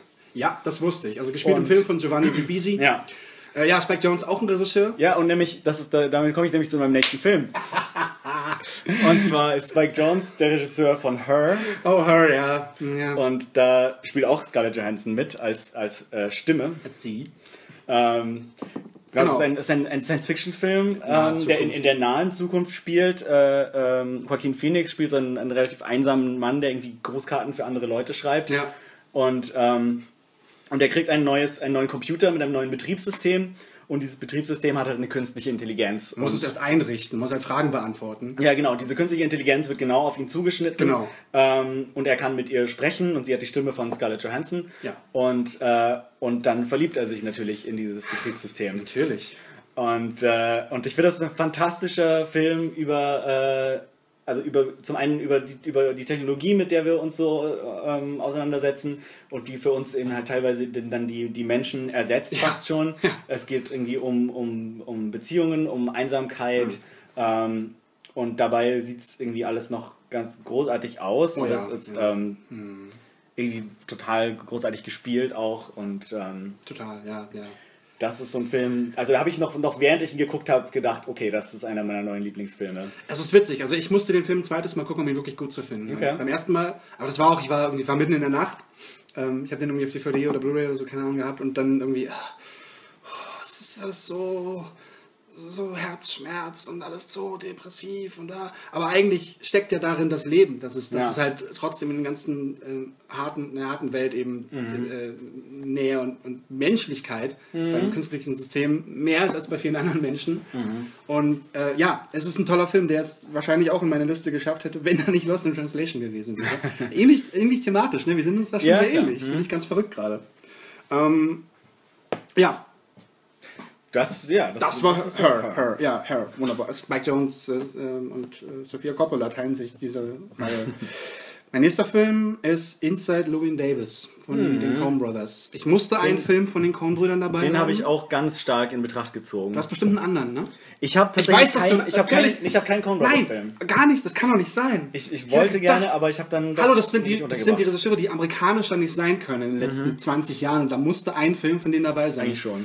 Ob es ein No Country for Old Men gewesen wäre oder andere. Ähm, aber bei mir ist es halt Inside Llewyn Davis, dem gespielt von Oscar Isaacs, einen erfolglosen Musiker, der Zur Zeit der, der, Zeit- des Folk, Folk Revivals in den 60ern. äh, genau und ähm, wo, wo also es ist ein wahnsinnig musikgeprägter und geschwängerter Film, der halt sehr ähm, dunkel und schwer inszeniert ist, ähm, sehr depressiv ist, aber ähm, für mich halt in, in dieser Depression und, in, und äh, in dieser erfolgsgesteuerten Welt, wo, du- wo, du, wo du erfolgreich sein musst und immer irgendwie dabei sein musst und äh, als Musiker Erfolg finden muss, ähm, so mehr oder weniger das, war das, das Erkennen seiner Schwächen äh, herausstellt und was ich, was ich so schön fand. Also gerade, gerade also ohne jetzt das Ende zu benennen, aber der, der, der halt auf sich auf einen Roadtrip begibt, um äh, für jemanden zu arbeiten oder er versucht für jemanden zu arbeiten als Studiomusiker. Dann aber das läuft halt nicht so gut für ihn und er verschiedenen kuriosen Menschen begegnet, die alle irgendwie entweder im Drogensumpf versinken oder oder oder oder ähm, äh, weiß ich nicht. Er hat auch eine ganz. Äh, Und die Katze ist natürlich sehr wichtig. Natürlich, es, es gibt eine Katze, wo die ganze Geschichte eigentlich quasi beginnt. Also der schläft halt auf der Couch bei so einem Professor, bei so einem Freund von ihm, Ja. der ihn aufnimmt so äh, um, und äh, eines Tages läuft die Katze von dem Mann weg und der versucht sie halt wiederzufinden und Ja, und dann fällt die Tür zu fährt die und Tür zu sie immer dabei. und er hat sie immer dabei. Natürlich ist es sehr süß und das ist halt so, wer, wer ist die Katze in dem Film? Da gibt es auch viele interessante Berichte ähm, und Theorien. Geschichten, Theorien drüber. Ähm, äh, Oscar Isaacs fand ich immer schon genial. Also ob das schon, schon als ich ihn in Drive gesehen habe oder, äh, Ja. oder in vielen anderen Filmen. Aber hier hat er halt sein wahres so Können sein, gezeigt. seine Durchbruchsrolle so ein bisschen. Absolut ja. genial als, äh, als, als Mensch, der halt komplett zwischen den Welten steht und nicht weiß, wohin, wohin er eigentlich gehört. Mhm. Und ähm, aber irgendwie auch so seine, seine, sein Limit so ein bisschen erkennt im Laufe des Films. Er weiß, wo er eigentlich steckt und äh, Mhm. ähm, trotzdem nicht aufgibt, aber Ja. ähm, naja, Großartiges Ende. muss man auch. das eines der besten Enden, die ich in den letzten fünf Ja. Jahren eigentlich gesehen habe. Ja. Ähm, wunderschöner Film. Ähm, Carrie Mulligan spielt noch mit, John Mhm. Goodman ist dabei. Äh, ja, äh, eigentlich vielleicht nicht der beste Coen Brothers Film, weil es gab noch andere, die vor den 90ern entsta- äh, vor den 2000ern entstanden Ja, ja, sind. genau. Aber, Aber- aus diesem Jahrzehnt eigentlich, eigentlich mein Lieblingsfilm Mhm. von den Coen Brüdern. Ja, aber bei mir glaube ich sogar auch, obwohl es komisch ist, in dem Jahr, in dem ich ihn gesehen habe, fand ich ihn am Anfang so, da- ich fand ihn gut, als ich rauslief, aber dachte so, okay, ja, nee, war Ja. irgendwie ganz gut. Ja, klar. Aber so je länger es her mit. ist, Oh der, ja. er, der, Ja, ja. der wirkt echt nach und, und äh, steigt immer weiter in meiner äh, Wertschätzung und ähm, Genau. hat meine Liste jetzt auch nur knapp verpasst. Okay, aber jetzt bin ich gespannt auf deine nächste. Mein nächster Film ist, glaube ich, der neueste Film auf meiner Liste. Mhm. Der kommt erst aus dem letzten Jahr und das ist äh, Mad Max Fury Road. Oh. Das ist, äh, wir haben ja schon öfter jetzt über, über äh, Sequels, die lange nach dem äh, Originalfilm kommen, geredet. Ja. Und das ist so das Paradebeispiel dafür, dass es funktionieren kann. Stimmt. Ähm, das ist einfach meiner Meinung nach so ziemlich der, der, der beeindruckendste Actionfilm, fast den ich überhaupt gesehen habe. Oder zumindest in, in, in, in der Zeitspanne, über die wir hier reden. Ja. Ähm, Naja. und doch bei dir noch einer. Ja, Naja, ähnliches. äh, Und, und es, also er hat halt äh, irgendwie, der Regisseur ist 70 Ja. und äh, inszeniert einen Film, wo man das Gefühl hat, das muss irgendwie von dem, von dem äh, irgendwie energiegeladensten jungen Menschen gemacht sein, den man sich vorstellen In kann. den Interviews ist, ist er das auch, George Miller. Ja. George Miller, der eben die originalen Mad Max Genau. Schon gemacht hat. Ja. Ähm, dazwischen auch so ganz andere Sachen wie ein Schweinchen namens Babe und irgendwie die Hexen von Eastwick und, Happy Pinguin, Feet. Pinguin, Happy. Feet, ja. Ist der nicht eigentlich auch Arzt oder sowas? Er war ursprünglich Arzt. Das ist irre. Und hat dann irgendwann mal gesagt, Ja. äh, Ende der 70er, ich Ja. mache jetzt, äh, mach jetzt hier mal mit meinen Leuten, mit meinen Freunden, die irgendwie so Hobby-Stunt-Leute sind, Ja. mache jetzt mal so einen Autoverfolgungsjagd-Film. Das war der erste Mad Max. Und jetzt sind es aber keine Stunt-Hobby-Leute mehr, sondern absolute Profis. Ja, und das sind die, die beeindruckendsten Stunts, die man überhaupt irgendwie gesehen hat. Die, die, diese, diese, schon. Wie das. Äh, der Film ist geschnitten von, von George Millers Frau, die eigentlich nur Dokumentarfilme schneidet, aber Ja. es ist irgendwie der rasantest geschnittenste, äh, irgendwie cool. Also die, der Schnitt ist einfach so cool, dass das kann man sich fast nicht vorstellen, dass sie vorher noch nie einen Spielfilm geschnitten hat. Ja, ja, klar. Und ähm, also rein, rein technisch ist es ein totales, äh, also es ist unglaublich beeindruckend, aber ich finde auch irgendwie thematisch steckt total viel drin. Ähm, es spielt halt in so einer postapokalyptischen Welt. Ja. Äh, Wasser ist knapp. es, äh, genau, das Wasser ist knapp, die Ressourcen sind irgendwie weg. Aufgebraucht. Ähm, keine keine die- wirkliche Infrastruktur mehr. Und, und ähm, Ja. Max muss halt so einer, so einer Gruppe von, von Frauen helfen, die, die geflohen sind von, von so einem fiesen äh, äh, Mutierten Typen, der irgendwie sehr so, Warlords. so ein Harem hält und Wo, genau, alles irre. Ja. und, äh, und dann gibt es auch eben die als weibliche Hauptfigur Charlize Theron's äh, Imperator Furiosa, die irgendwie. Ja. eigentlich fast die Hauptfigur des Films ist. Klar, Ähm, auch eine sehr coole Figur. Und, Was ja, ich bei dem also, Film auch immer so beeindruckend finde, ist, dass, obwohl der Plot so relativ minimal ist, es geht halt nur um, um, um das Ja. Führen von, von den Frauen aus dem Harem Genau, sie fahren in die eine Richtung und dann fahren sie in die andere Richtung. Ähm, aber eben, die, was da mitschwingt, was da passiert. Und, Und was, was auch visuell erzählt wird. Also Genau. ich habe von vielen Leuten danach dann so gehört, die ihn angeguckt haben und gesagt, ja, ist coole Action, aber der Ja. Film hat ja gar keine Story. Ja, aber ich doch. finde, ich finde, er hat, hat sehr viel Story und sehr viel, es wird sehr viel erzählt, aber es wird halt nicht erzählt durch irgendwie lange Dialoge Genau. oder durch, durch irgendwie äh, so Charakter in, äh, irgendwie Mhm. die äh, Interaktionen, sondern es wird halt alles über die Bilder und über den Schnitt und über die Action erzählt. Ja, und das ist halt, klar. das ist auch Story. Und viel davor und danach äh, passiert auch, was in deinem Kopf Ja. dann noch weiter vor sich geht. Total. Ähm, ja, als Actionfilm absolut ähm, musste, musste eigentlich auch in diesem Jahr dabei sein. Ist bei mir aber ein anderer Actionfilm, Mhm. wo man es fast nicht als Actionfilm bezeichnen kann. Eigentlich doch. Teilweise. Inception. von Christopher Nolan. Weil Christopher Nolan darf eigentlich nicht fehlen auf der Liste, so ein visionärer Regisseur, der viele großartige Filme gemacht hat, The Dark Knight oder Prestige Ja. zum Beispiel oder Interstellar. Memento. Memento. Aber Inception sticht für mich halt als, als Actionfilm heraus in Mhm. erster Linie, ähm, weil es halt so ein, so ein, so ein Neo-Crime-Caper ist, den, Ja. den, den du eigentlich auch immer wieder gerne siehst. Als Actionfilm funktioniert er sehr gut. Ähm, also es geht halt um, um Verbrecher, um Diebe, die etwas stehlen, aber nicht im herkömmlichen Sinne, sondern in den Gedanken eines den anderen Träumen. Menschen, in den Träumen von anderen Menschen, in den Träumen von Träumen von Träumen. Viele verschiedene Schichten. Und das macht den Film für mich halt so, ein, zu einem großartigen Actionfilm.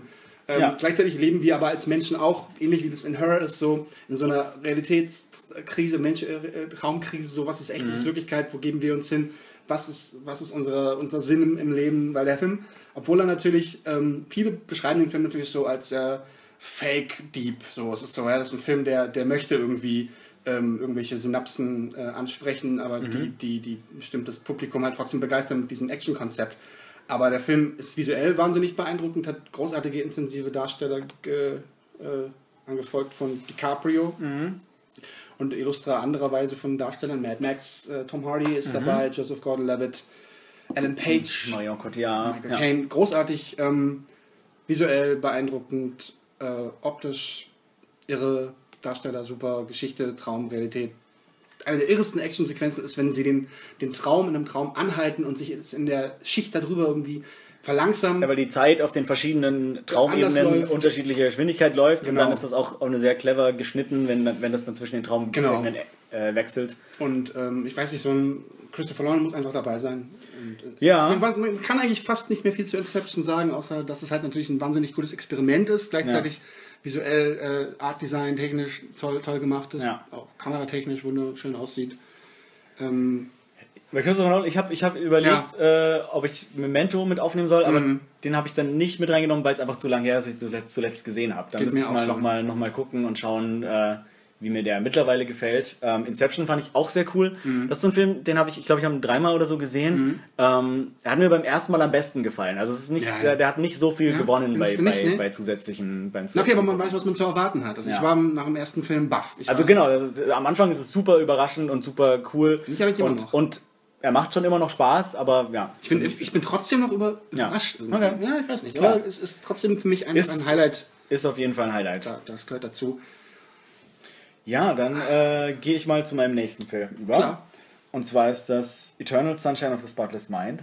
Das ist auch mein nächster Das Film. ist auch dein nächster Das Film. ist wirklich auch mein nächster Film. ja, ähm, das ist äh, Das ist mein Lieblingsfilm. das ist auch einer meiner Lieblingsfilme. ma- ja, es ist echt schwer zu sagen. Ne? Ob es Also, der der, der, ob's der Nummer 1 Film ist, aber er ist auf jeden Fall ganz, ganz vorne dabei. also ich kann ja ganz kurz anfangen, wie ich den Film das erste Mal gesehen habe. Ich weiß nicht, wie es dir damals ging. 2004 kam der raus. Ähm, ich bin, damals gab es noch mehr Videotheken als Ja. Netflix ist.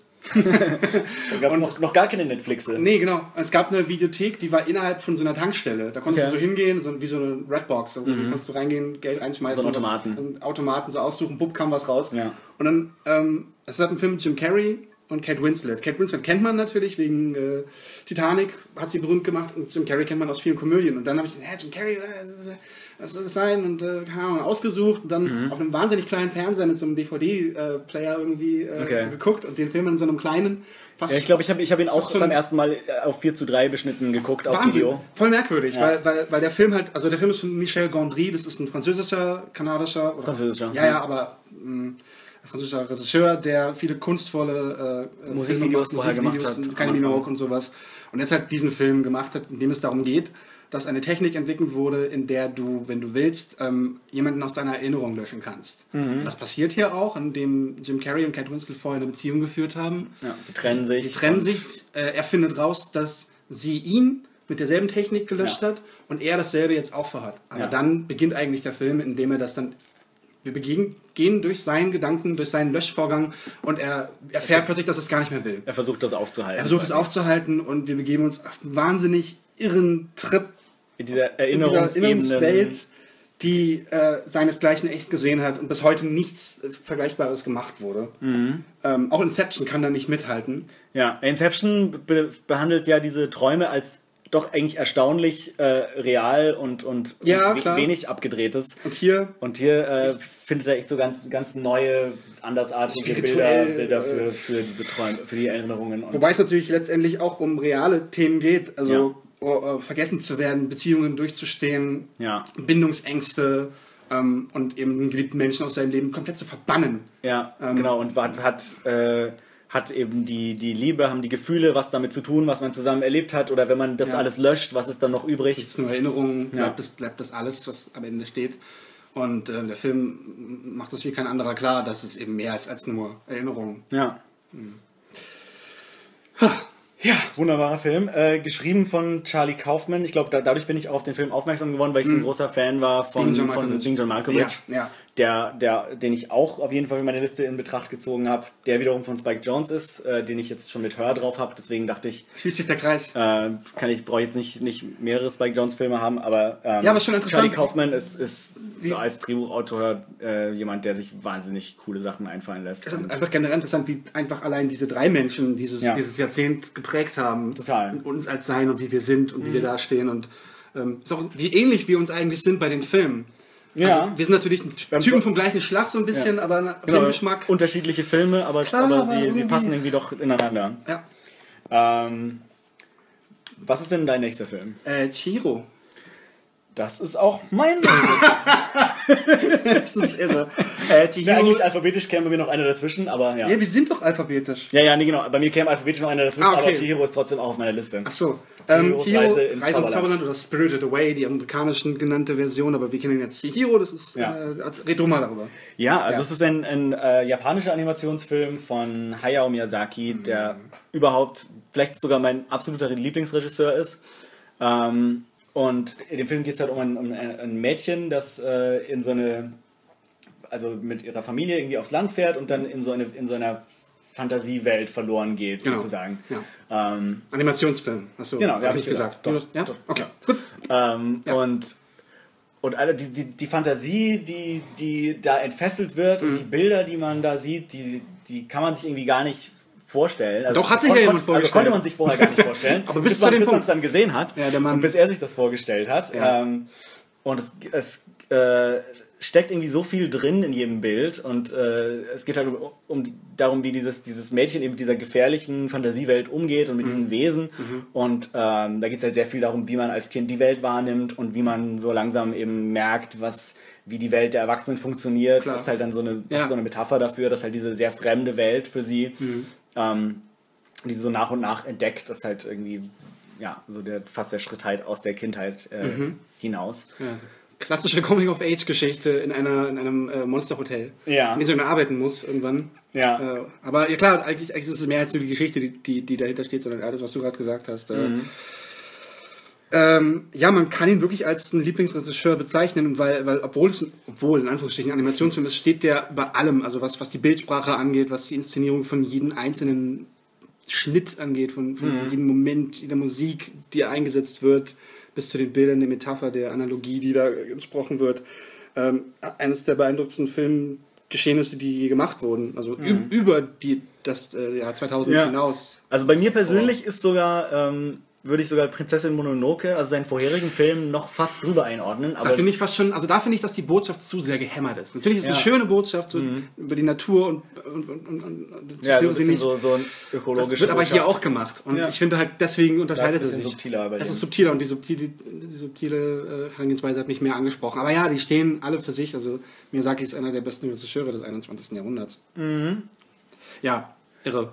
Super cooles Ding. Kann man nicht mehr zu sagen. ähm, was ist denn dein nächster Film trotzdem? Äh, Children of Man. Das kann doch nicht wahr sein! Children of fucking Man! Es ist nicht wahr. Oh, Alfonso Cuarons Meisterwerk Ja. über eine nicht weit entfernte Zukunft, in der die äh, Menschheit komplett unfruchtbar am Arsch geworden ist, unfruchtbar geworden ist, keine, keine, Keine keine, Kinder Kinder, mehr. werden mehr geboren. Das ist gerade genauso ein emotionaler Höllenhut wie der Film selbst. Also der, Ah. der, das ist so ein Film, der, also die, Ja. die meiste Aufmerksamkeit hat der Film, glaube ich, bekommen, Ja, weil wir, äh, Ja. oder mehrere Oder? Sequenzen im Ja, ja, Film klar. die halt, die halt ähm, In einem die, Schnitt gedreht wurden. teilweise 10, 15 ohne Minuten Schnitt. lang sind, ohne, ohne irgendwelche Schnitte oder ohne sichtbare Schnitte zumindest. Ja. Ähm, was aber eben nicht nur so ein technisches Gimmick ist, sondern einem einfach so total in diese Welt reinzieht. Genau, es ist nicht so ein, es ist nicht so ein Spielberg One-Shot irgendwie, wo, der, wo du zwar auch in der Szene drin bist und so durch die Welt gehst, sondern du bist wirklich Dadurch, dadurch, dadurch merkst du halt so, oh, ich bin Ja. in dieser Welt, auch Ja. wenn das irgendwie so eine Science-Fiction-Welt ist. Naja, das ist sehr du- nah. du spielt ja in England. Ja, du hast irgendwie das Gefühl, du Mhm. bist da und erlebst das mit dieser Figur, was da um, sie, um, um die rum passiert. Also es geht um einen ehemaligen Journalisten, Ich glaube, glaub ich, ja, ne? ja. der in so ein, in etwas reingezogen wird, von dem er nicht erwartet hätte, dass es hier passiert ist. Und zwar, da darf man ja eigentlich sagen, Ich glaube, so weit, können wir gehen. ähm, dass er von einer, ehem- seiner ehemaligen Freundin oder Frau sogar, oder Ja, ist er noch mit der Ex-Frau sogar, ähm, äh, zu einem Ort geführt wird und dann begegnet er einem jungen Mädchen in, einem- in einem Eine Kuhstall, die- die schwanger ist. Also seit, seit 20 Jahren oder so sind keine Kinder mehr geboren das letzte worden. Kind ist, glaube ich, gerade gestorben. Oder letzte, oder Der jüngste Mensch der Welt ist gestorben mit- mit 19 oder so. Und alle waren natürlich trauer und am Boden Ja. zerstört. Ähm, dann ist die ganze Welt sowieso voll korrumpiert und es geht nur noch um Geld und, und, und um Außenmistungen und du bist Ja. verblendet von der ganzen Werbung und der Utopie. Du äh, bist eigentlich Ja. im Arsch und dann kommt die Hoffnung wieder zurück mit dem Mädchen, Mhm. das, das schwanger ist und er soll sie beschützen und an ähm, einen Ort bringen, wo sie Ja. in Sicherheit ist. Und es, es geht halt nicht nur um dieses, um dieses Science-Fiction-Konzept, sondern es, äh, es spielt halt in, in England. Ähm, und, und man sieht halt, wie so, wie, wie, also England scheint so der Ort zu sein, wo es noch einigermaßen sicher ist im Vergleich zum Rest der Welt. Mhm. Und es versuchen halt eben ganz viele Einwanderer ins Land reinzukommen. Und es geht halt dann sehr stark um, um, um, um diese, diese Einwanderungspolitik Ja, und wie die Leute darauf reagieren und wie sie sich abgrenzen und wie sie halt, obwohl sie eigentlich überhaupt keine Hoffnung mehr haben, dann trotzdem irgendwie noch versuchen, Ja, die der- Fremden draußen zu halten. Und der Mann und- geht dann eben irgendwie in das, in das Herz der Dunkelheit, der, Ja. der zerstörten In Demokratie, in so Camps, wo Menschen gehalten werden. Ja, eben so Einwanderer. Einwanderer Haupt, äh, und äh, Flüchtlinge. Äh, Flüchtlinge heutzutage absolut noch äh, besonders. Relevant. relevant. Ja. Ähm, ja, kein Film hat das so sehr auf den Punkt gebracht, dass unsere Welt, eigentlich im Arsch ist, wenn wir nichts machen. Ja. Und dann muss es halt, ähm, klar, der Plot ist auch die wahnsinnig Hoffnung ist spannend. Die Hoffnung ist da äh, in Form eines schwangeren Mädchens. Mhm. Alfonso Cuarón, auch, auch ein Regisseur, der gleichzeitig ähm, Welten erschafft, ähm, die trotzdem mehr sind als nur ein Genre, Mhm. ähm, der wirklich was erzählt. Der wirklich, Ja. eine, das ist ein wahnsinnig toller Geschichtenerzähler, wo wirklich auch in jeder Aufnahme, in jedem Hintergrund, in jeder Schicht von, von seinen Bildern, gerade auch bei Children of Man, besonders bei Children of Man, Ja. mehr steckt als nur, äh, ja, Genau, wo sehr viel einfach durch die Bilder erzählt wird und durch die, durch die, äh, auch durch die Kameraarbeit und den Schnitt und so. auch eines der besten äh, Arbeiten von Clive Owen, der die Hauptfigur spielt. Ähm, toll Mhm. Ja. gemacht. Children of Man. Children of Man. Dann äh, mein, mein letzter Punkt auf der Liste. Ich habe ich hab noch zwei. Ach so, dann vielleicht machst du Dann den mach- noch. mach ich noch einen davor. Dann, dass wir dann zusammen. Dann, äh, und zwar mein nächster ist äh, Before Sunset. Ah. ah. So ein bisschen. Äh, Habe ich nicht dabei, aber ich hätte den. Er steht so ein bisschen stellvertretend für Die Trilogie. für die ganze Trilogie, äh, die ja anfing mit Before Before Sunrise, Sunrise. Anfang der 90er. Von Richard Linklater. Von, genau, und da geht es äh, um, um zwei, also in dem ersten Film geht es halt um, um zwei, um, um einen jungen Mann und eine junge Frau, äh, ein Amerikaner und eine Französin, die sich im Zug nach Wien treffen, dann beschließen, äh, die Nacht einfach durch Wien zu wandern zusammen Genau. und Flug geht erst morgen oder so, lass uns quatschen. Und, ähm, Ja. Und es geht auch nicht um mehr als das. Sie, reden, sie laufen die Nacht lang durch die Stadt Und äh, reden. und reden. Ja. Und, äh, und das ist ein, ein wahnsinnig zauberhafter, romantischer Film, der aber trotzdem irgendwie sich sehr echt anfühlt. Mhm. Also Du begleitest sie halt mit. Ist ähnlich wie Children of Man, du bist die ganze Zeit dabei. du guckst über ihre Schulter.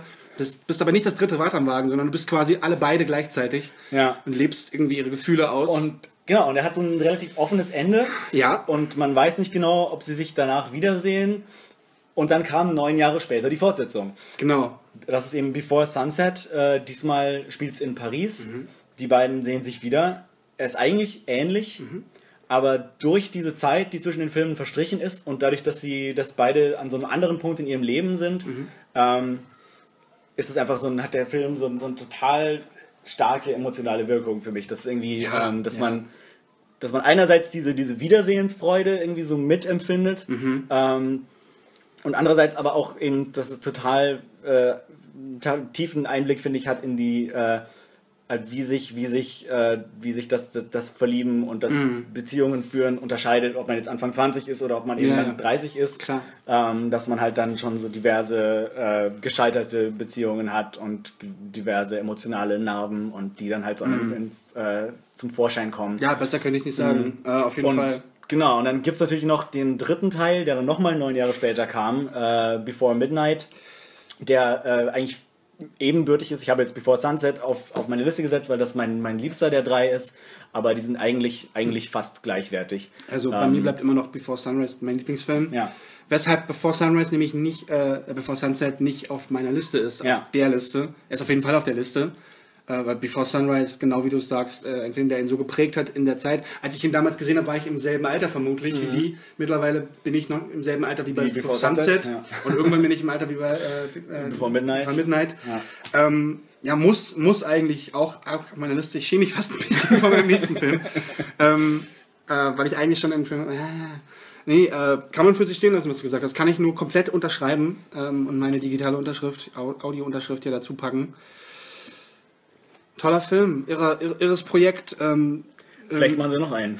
nee, ich möchte eigentlich, glaube ich, keinen Film mehr sehen davon. Weil Weil ich dachte, bei, ich dachte bei beiden Filmen jeweils, die haben so ein perfektes Ende. Ja. Ich möchte auf keinen Fall eine Fortsetzung sehen. Ja, klar, und das war dann immer doch die Fortsetzung so, gut, dass Ja, man gedacht hat, natürlich. ah, natürlich wollte ich die Fortsetzung sehen. Ah, also es ist wahrscheinlich- natürlich jedes Mal wieder, man muss bangen, gelingt ihnen das nochmal, Das aber es wäre schon spannend. Also Julie Delpy und Ethan Hawke, die die beiden spielen, müssen das wirklich ihr Leben lang eigentlich machen. Bis zum letzten Schluss, damit wir mit ihnen, wir sind immer so zehn Jahre rückwärts vor ihnen und können das be- begutachten. Ja, möchte ich eigentlich auch sehen, ist aber nicht dabei und ich schäme mich fast ein bisschen. ja, ich habe auch äh, Boyhood natürlich so ein Nee, bisschen. Boyhood hab ich, eigentlich hab ich, gar nicht. Habe ich äh, zumindest drüber erlegt, der ja auch ein ähnliches Konzept Ja. hat, weil er halt über so ein, über die zwölf Jahre hinweg. Boyhood hat mich ähm, echt nicht so beeindruckt wie viele andere. Halt, ja, aber- klar, hat mich Mhm. nicht so beeindruckt wie Okay. viele andere. Ähm, fällt komplett jetzt natürlich raus, irgendwie. Sein nächster Film. Mein nächster oder mein letzter Film in der, in der Reihe ist The Avengers von Mhm. Josh Whedon. Ja. Finde ich, gehört einfach dazu, weil wir brauchen einen Superheldenfilm. Ich hatte ja meinen schon. Eben, ich aber noch nicht. Ja. Und The Avengers ist das, das, das Herzstück aller Superheldenfilme, die es je gegeben hat, weil sie vorher gab es halt Filme, die darauf gedreht wurden und zugespielt wurden, wie Iron Man, Thor, Hulk und so America. America. Und das ist der Film, in dem alles halt zum, zum Schluss kommt und endet in einem großen epischen Kampf. Also es geht um eben die Avengers, ein Superheldenteam, das, das die Stadt New York bekämpfen muss. Der Film beschützen muss. Beschützen muss. äh, beschützen muss. Es ist halt, es ist halt, es ist halt das großartigste Popcorn-Kino, was man sich vorstellen Ja. kann. Mit so vielen farbenfrohen, witzigen Charakteren, die trotzdem irgendwie geerdet in einer Welt sind, die von Aliens überrannt wird. Natürlich Ja. ist es total bescheuert und irre. Aber es ist einfach nur wahnsinnig witzig gute Action von Josh Whedon. Ja. Josh Whedon, der bekannt ist für Buffy Ja. und für viele andere Sachen. Und, äh, Allein schon, allein schon die, die Freude, dass, dass, äh, dass der dass Joss Whedon, den man halt so als, äh, als den Buffy-Typen kannte, der immer nie geschafft hat, irgendwie seine Filme äh, auf die Reihe zu stellen und dass in Fernsehserien gecancelt wurden, Ja, ja. dass er dann plötzlich den erfolgreichsten Superheldenfilm aller Zeiten gemacht hat. Und das- Darüber habe ich mich auch sehr gefreut und er äh, hat es auch absolut verdient. Also ähnlich halt wie die Incredibles ist The Avengers für mich eigentlich fast schon der beste Superheldenfilm, der Team, beste Superhelden-Teamfilm, muss man eigentlich sagen. Weil es gibt da noch Unterschiede, finde ich, da müsste man mal eine andere Liste drüber machen. Aber der hat wirklich alles zusammengeführt. Der hat die, die beliebtesten Figuren, die vorher im Film aufgetaucht sind und auch nicht in einen Film gebracht, zu einem großen, unterhaltsamen Paket Popcorn-Kino gemacht, die es Mhm. die es in jedem Jahrzehnt einfach auch geprägt hat und haben muss. Es gibt tausend Superheldenfilme, Ja. tausend, tausende Franchises und Multiversen und ähm, der Film hat quasi eine Phase dieser Marvel-Reihe beendet und eine neue fortgeführt, ähm, bleibt aber eben geprägt für die Zeit, der er steht Ja. für sich und ist ein unglaublich guter, unterhaltsamer Action-Popcorn-Kinofilm mit gutem Humor. Ja, ich habe den, also ich habe den schon, also ich habe den vielleicht sogar öfter gesehen als alle Filme, die auf meiner Liste stehen. Ähm, Ja, ich habe vielleicht und äh, finde auch richtig klasse. Was ich, das einzige Problem, was ich mit Avengers habe, ist, dass so die erste halbe Stunde so ein bisschen langweilig ist. Für mich. wegen der Figuren, Also die es- Einführung und der Ja, also ganz am. Anfang passiert ja, gibt es ja irgendwie diese Szene, wo sie in diesem unterirdischen Labor Ja, sind, das dann so, die ist nicht so zusammenstürzt. spannend, das, das aber das, ist zu lang einfach nur. das ist, ja, klar. Also das hätte man irgendwie den Anfang, also wenn der Anfang genauso gut wäre wie der Rest vom Film, dann wäre er wahrscheinlich auch auf meiner Liste. Klar, ich denke mal, das hat natürlich mit den Filmen, die davor passiert sind, zu tun, dass alles Ja. so ein bisschen zusammenhängt und du natürlich ein bisschen die Weichen stellen mussten. Ja, klar. Äh, aber, aber dann kommt er richtig in Fahrt und bleibt, bleibt einfach äh, mir im Gedächtnis als einer der besten Action-Abenteuer-Superheldenfilme, die je gemacht wurden. Ja, cool. Ähm, dann ist bei mir jetzt auch nur noch einer übrig. Lass mal hören. Und zwar Amelie. das ist äh, ganz interessant. Also Amelie ist halt so ein französischer Film von äh, Jean-Pierre Jeunet von 2001. Ähm, es geht um, um eine junge Frau, die in Paris lebt und irgendwie so ein bisschen seltsam ist und immer Mhm. versucht, anderen Leuten zu helfen und ihr Leben zu verbessern, so auf heimliche Art und Weise. ähm, Und das ist so ein Film, den habe ich damals im Kino gesehen, äh, fand ihn ganz fantastisch, habe ihn sofort zu einem meiner Lieblingsfilme erklärt. Und dann habe ich ihn, glaube ich, nochmal auf DVD geguckt, aber dann lange Jahre nicht gesehen. Und irgendwie habe ich in dieser Zeit dann angenommen, das ist vielleicht so ein Film, den guckt man als Teenager und Ja. findet ihn cool, weil man Ah, sowas okay. noch nicht gesehen hat. ähm, weil, ja, weil es halt irgendwie so stilistisch auch sehr eigen ist. Ja. Und, ähm, Ja. und dann habe ich aber irgendwie angenommen, ja, aber wahrscheinlich ist er gar nicht so gut. und äh, auch weil es so gerade im französischen Kino einige Filme gab seitdem, die so ein bisschen diesen Stil kopiert haben, Mhm. Ja. die so ein bisschen versucht haben, äh, daran anzuknüpfen und die alle nicht Klar. so gut waren und irgendwie nur so Style over Substance waren. Und dann habe ich ihn mir aber vor einem Jahr oder so nochmal angeguckt und gedacht, nein, der ist wirklich so gut, wie ich in Erinnerung hatte. Und äh, Ja. Ja, also für mich ist das ein, ein Film, der, der irgendwie, äh, ja, einen irgendwie verzaubert. Klar. und der äh, wahnsinnig äh, irgendwie romantisch ist, aber Mhm. auch so, aber, die, aber trotzdem, also obwohl er so, so, so zauberhaft und romantisch ist, Mhm. auch sehr äh, äh, teilweise so einen relativ harten Blick auf das Leben der Menschen, mit denen äh, Amelie in dem Mhm. Film äh, interagiert, wirft.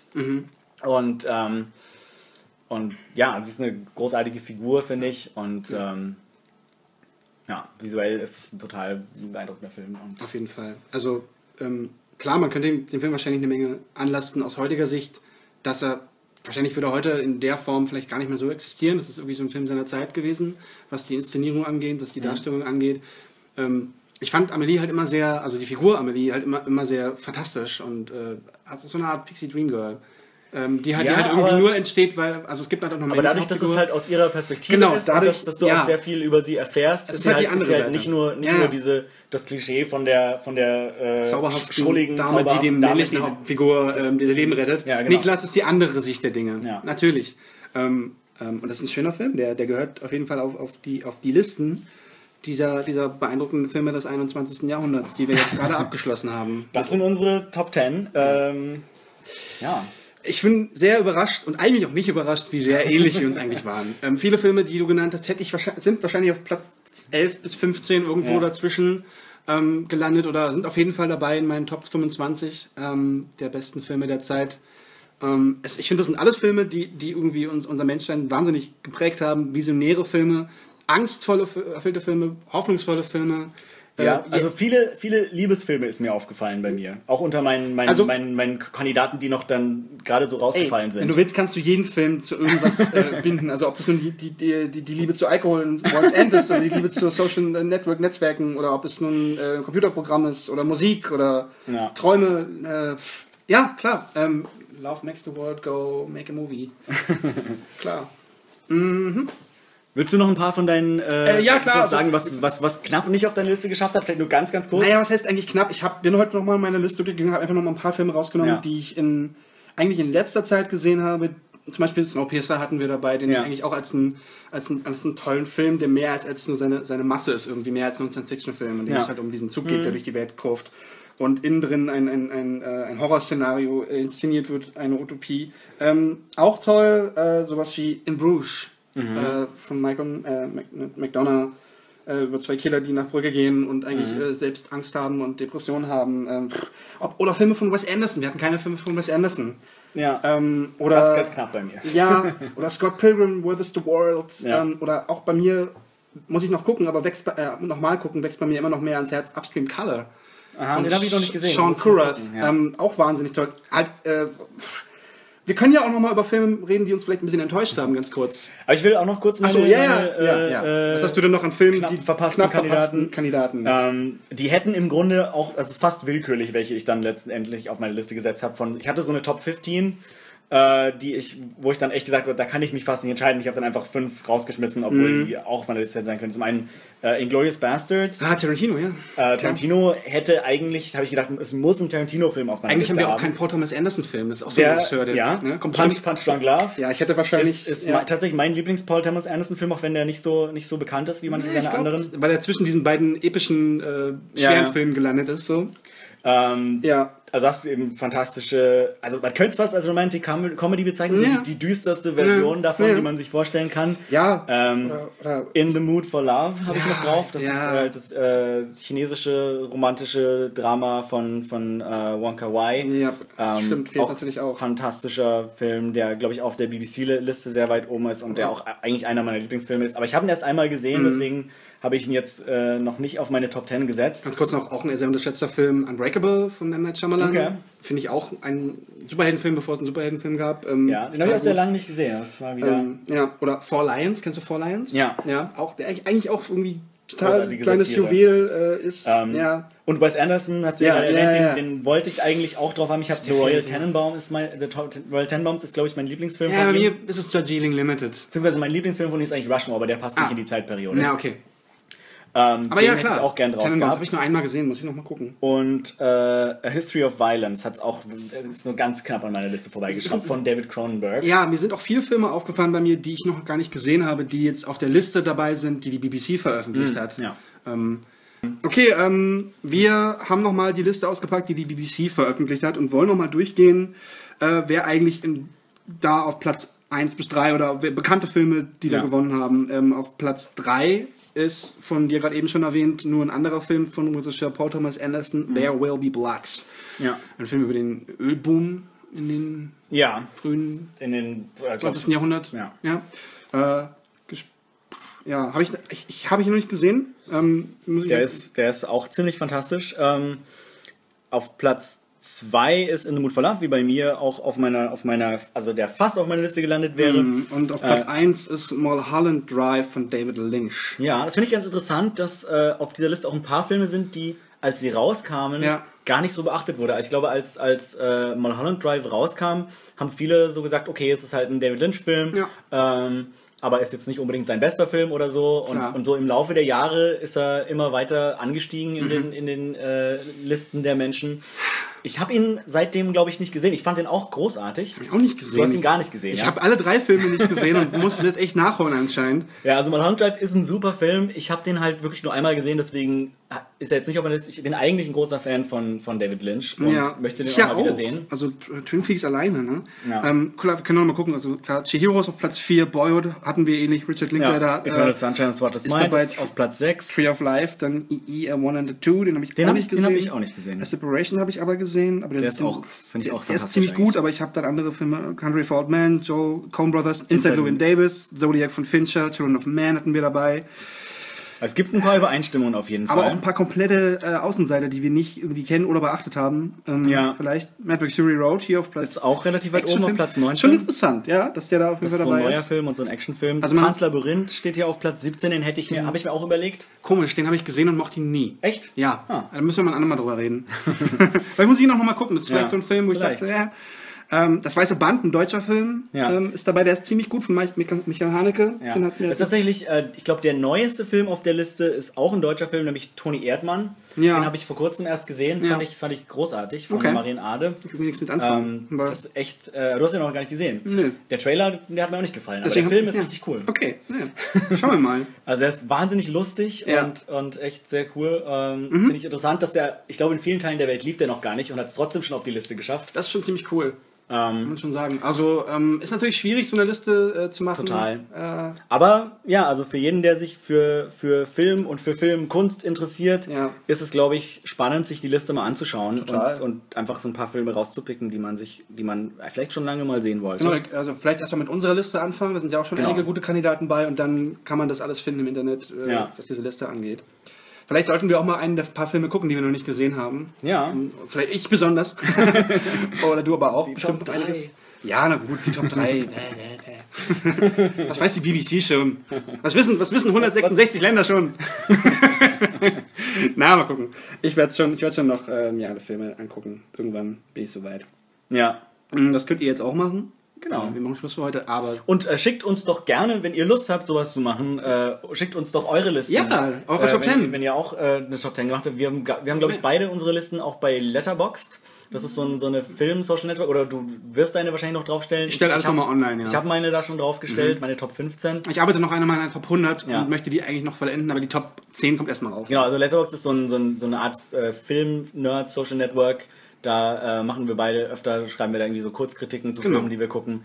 Ähm, das posten wir wahrscheinlich noch und wenn ihr selber äh, Listen habt, dann schickt die uns. Genau, auf Letterboxd könnt ihr uns auch gerne folgen, wenn euch interessiert, was wir so schreiben. Wo Ja, ihr uns noch folgen könnt, ist auf Twitter. Ja, Unter Ed David Koslowski und Ed Adrian Vom. auf Facebook, Soundcloud, und Überall. iTunes. Unter Dreck und Gold. Bei iTunes wäre es echt cool, wenn ihr Lust habt, mal Ja. eine Bewertung zu machen. Ja, wir, wir sagen das nicht nur so, ihr könnt das wirklich machen. Ja, also es ist wirklich, es ist einfach gern gesehen, weil wenn ihr, wenn ihr das, was ihr hört, gut findet, dann äh, könnt ihr das dadurch weiterempfehlen, noch mehr anderen Leuten daran teilhaben zu lassen. Ja, das wäre das wär sehr cool, wenn, wär wenn, super. Ihr, wenn ihr da auch nur einen Satz schreibt. Äh, das würde uns total freuen. Ja. Und ansonsten sehen wir uns dann nächste Woche wieder. Bis dann. Bye bye. Tschüss.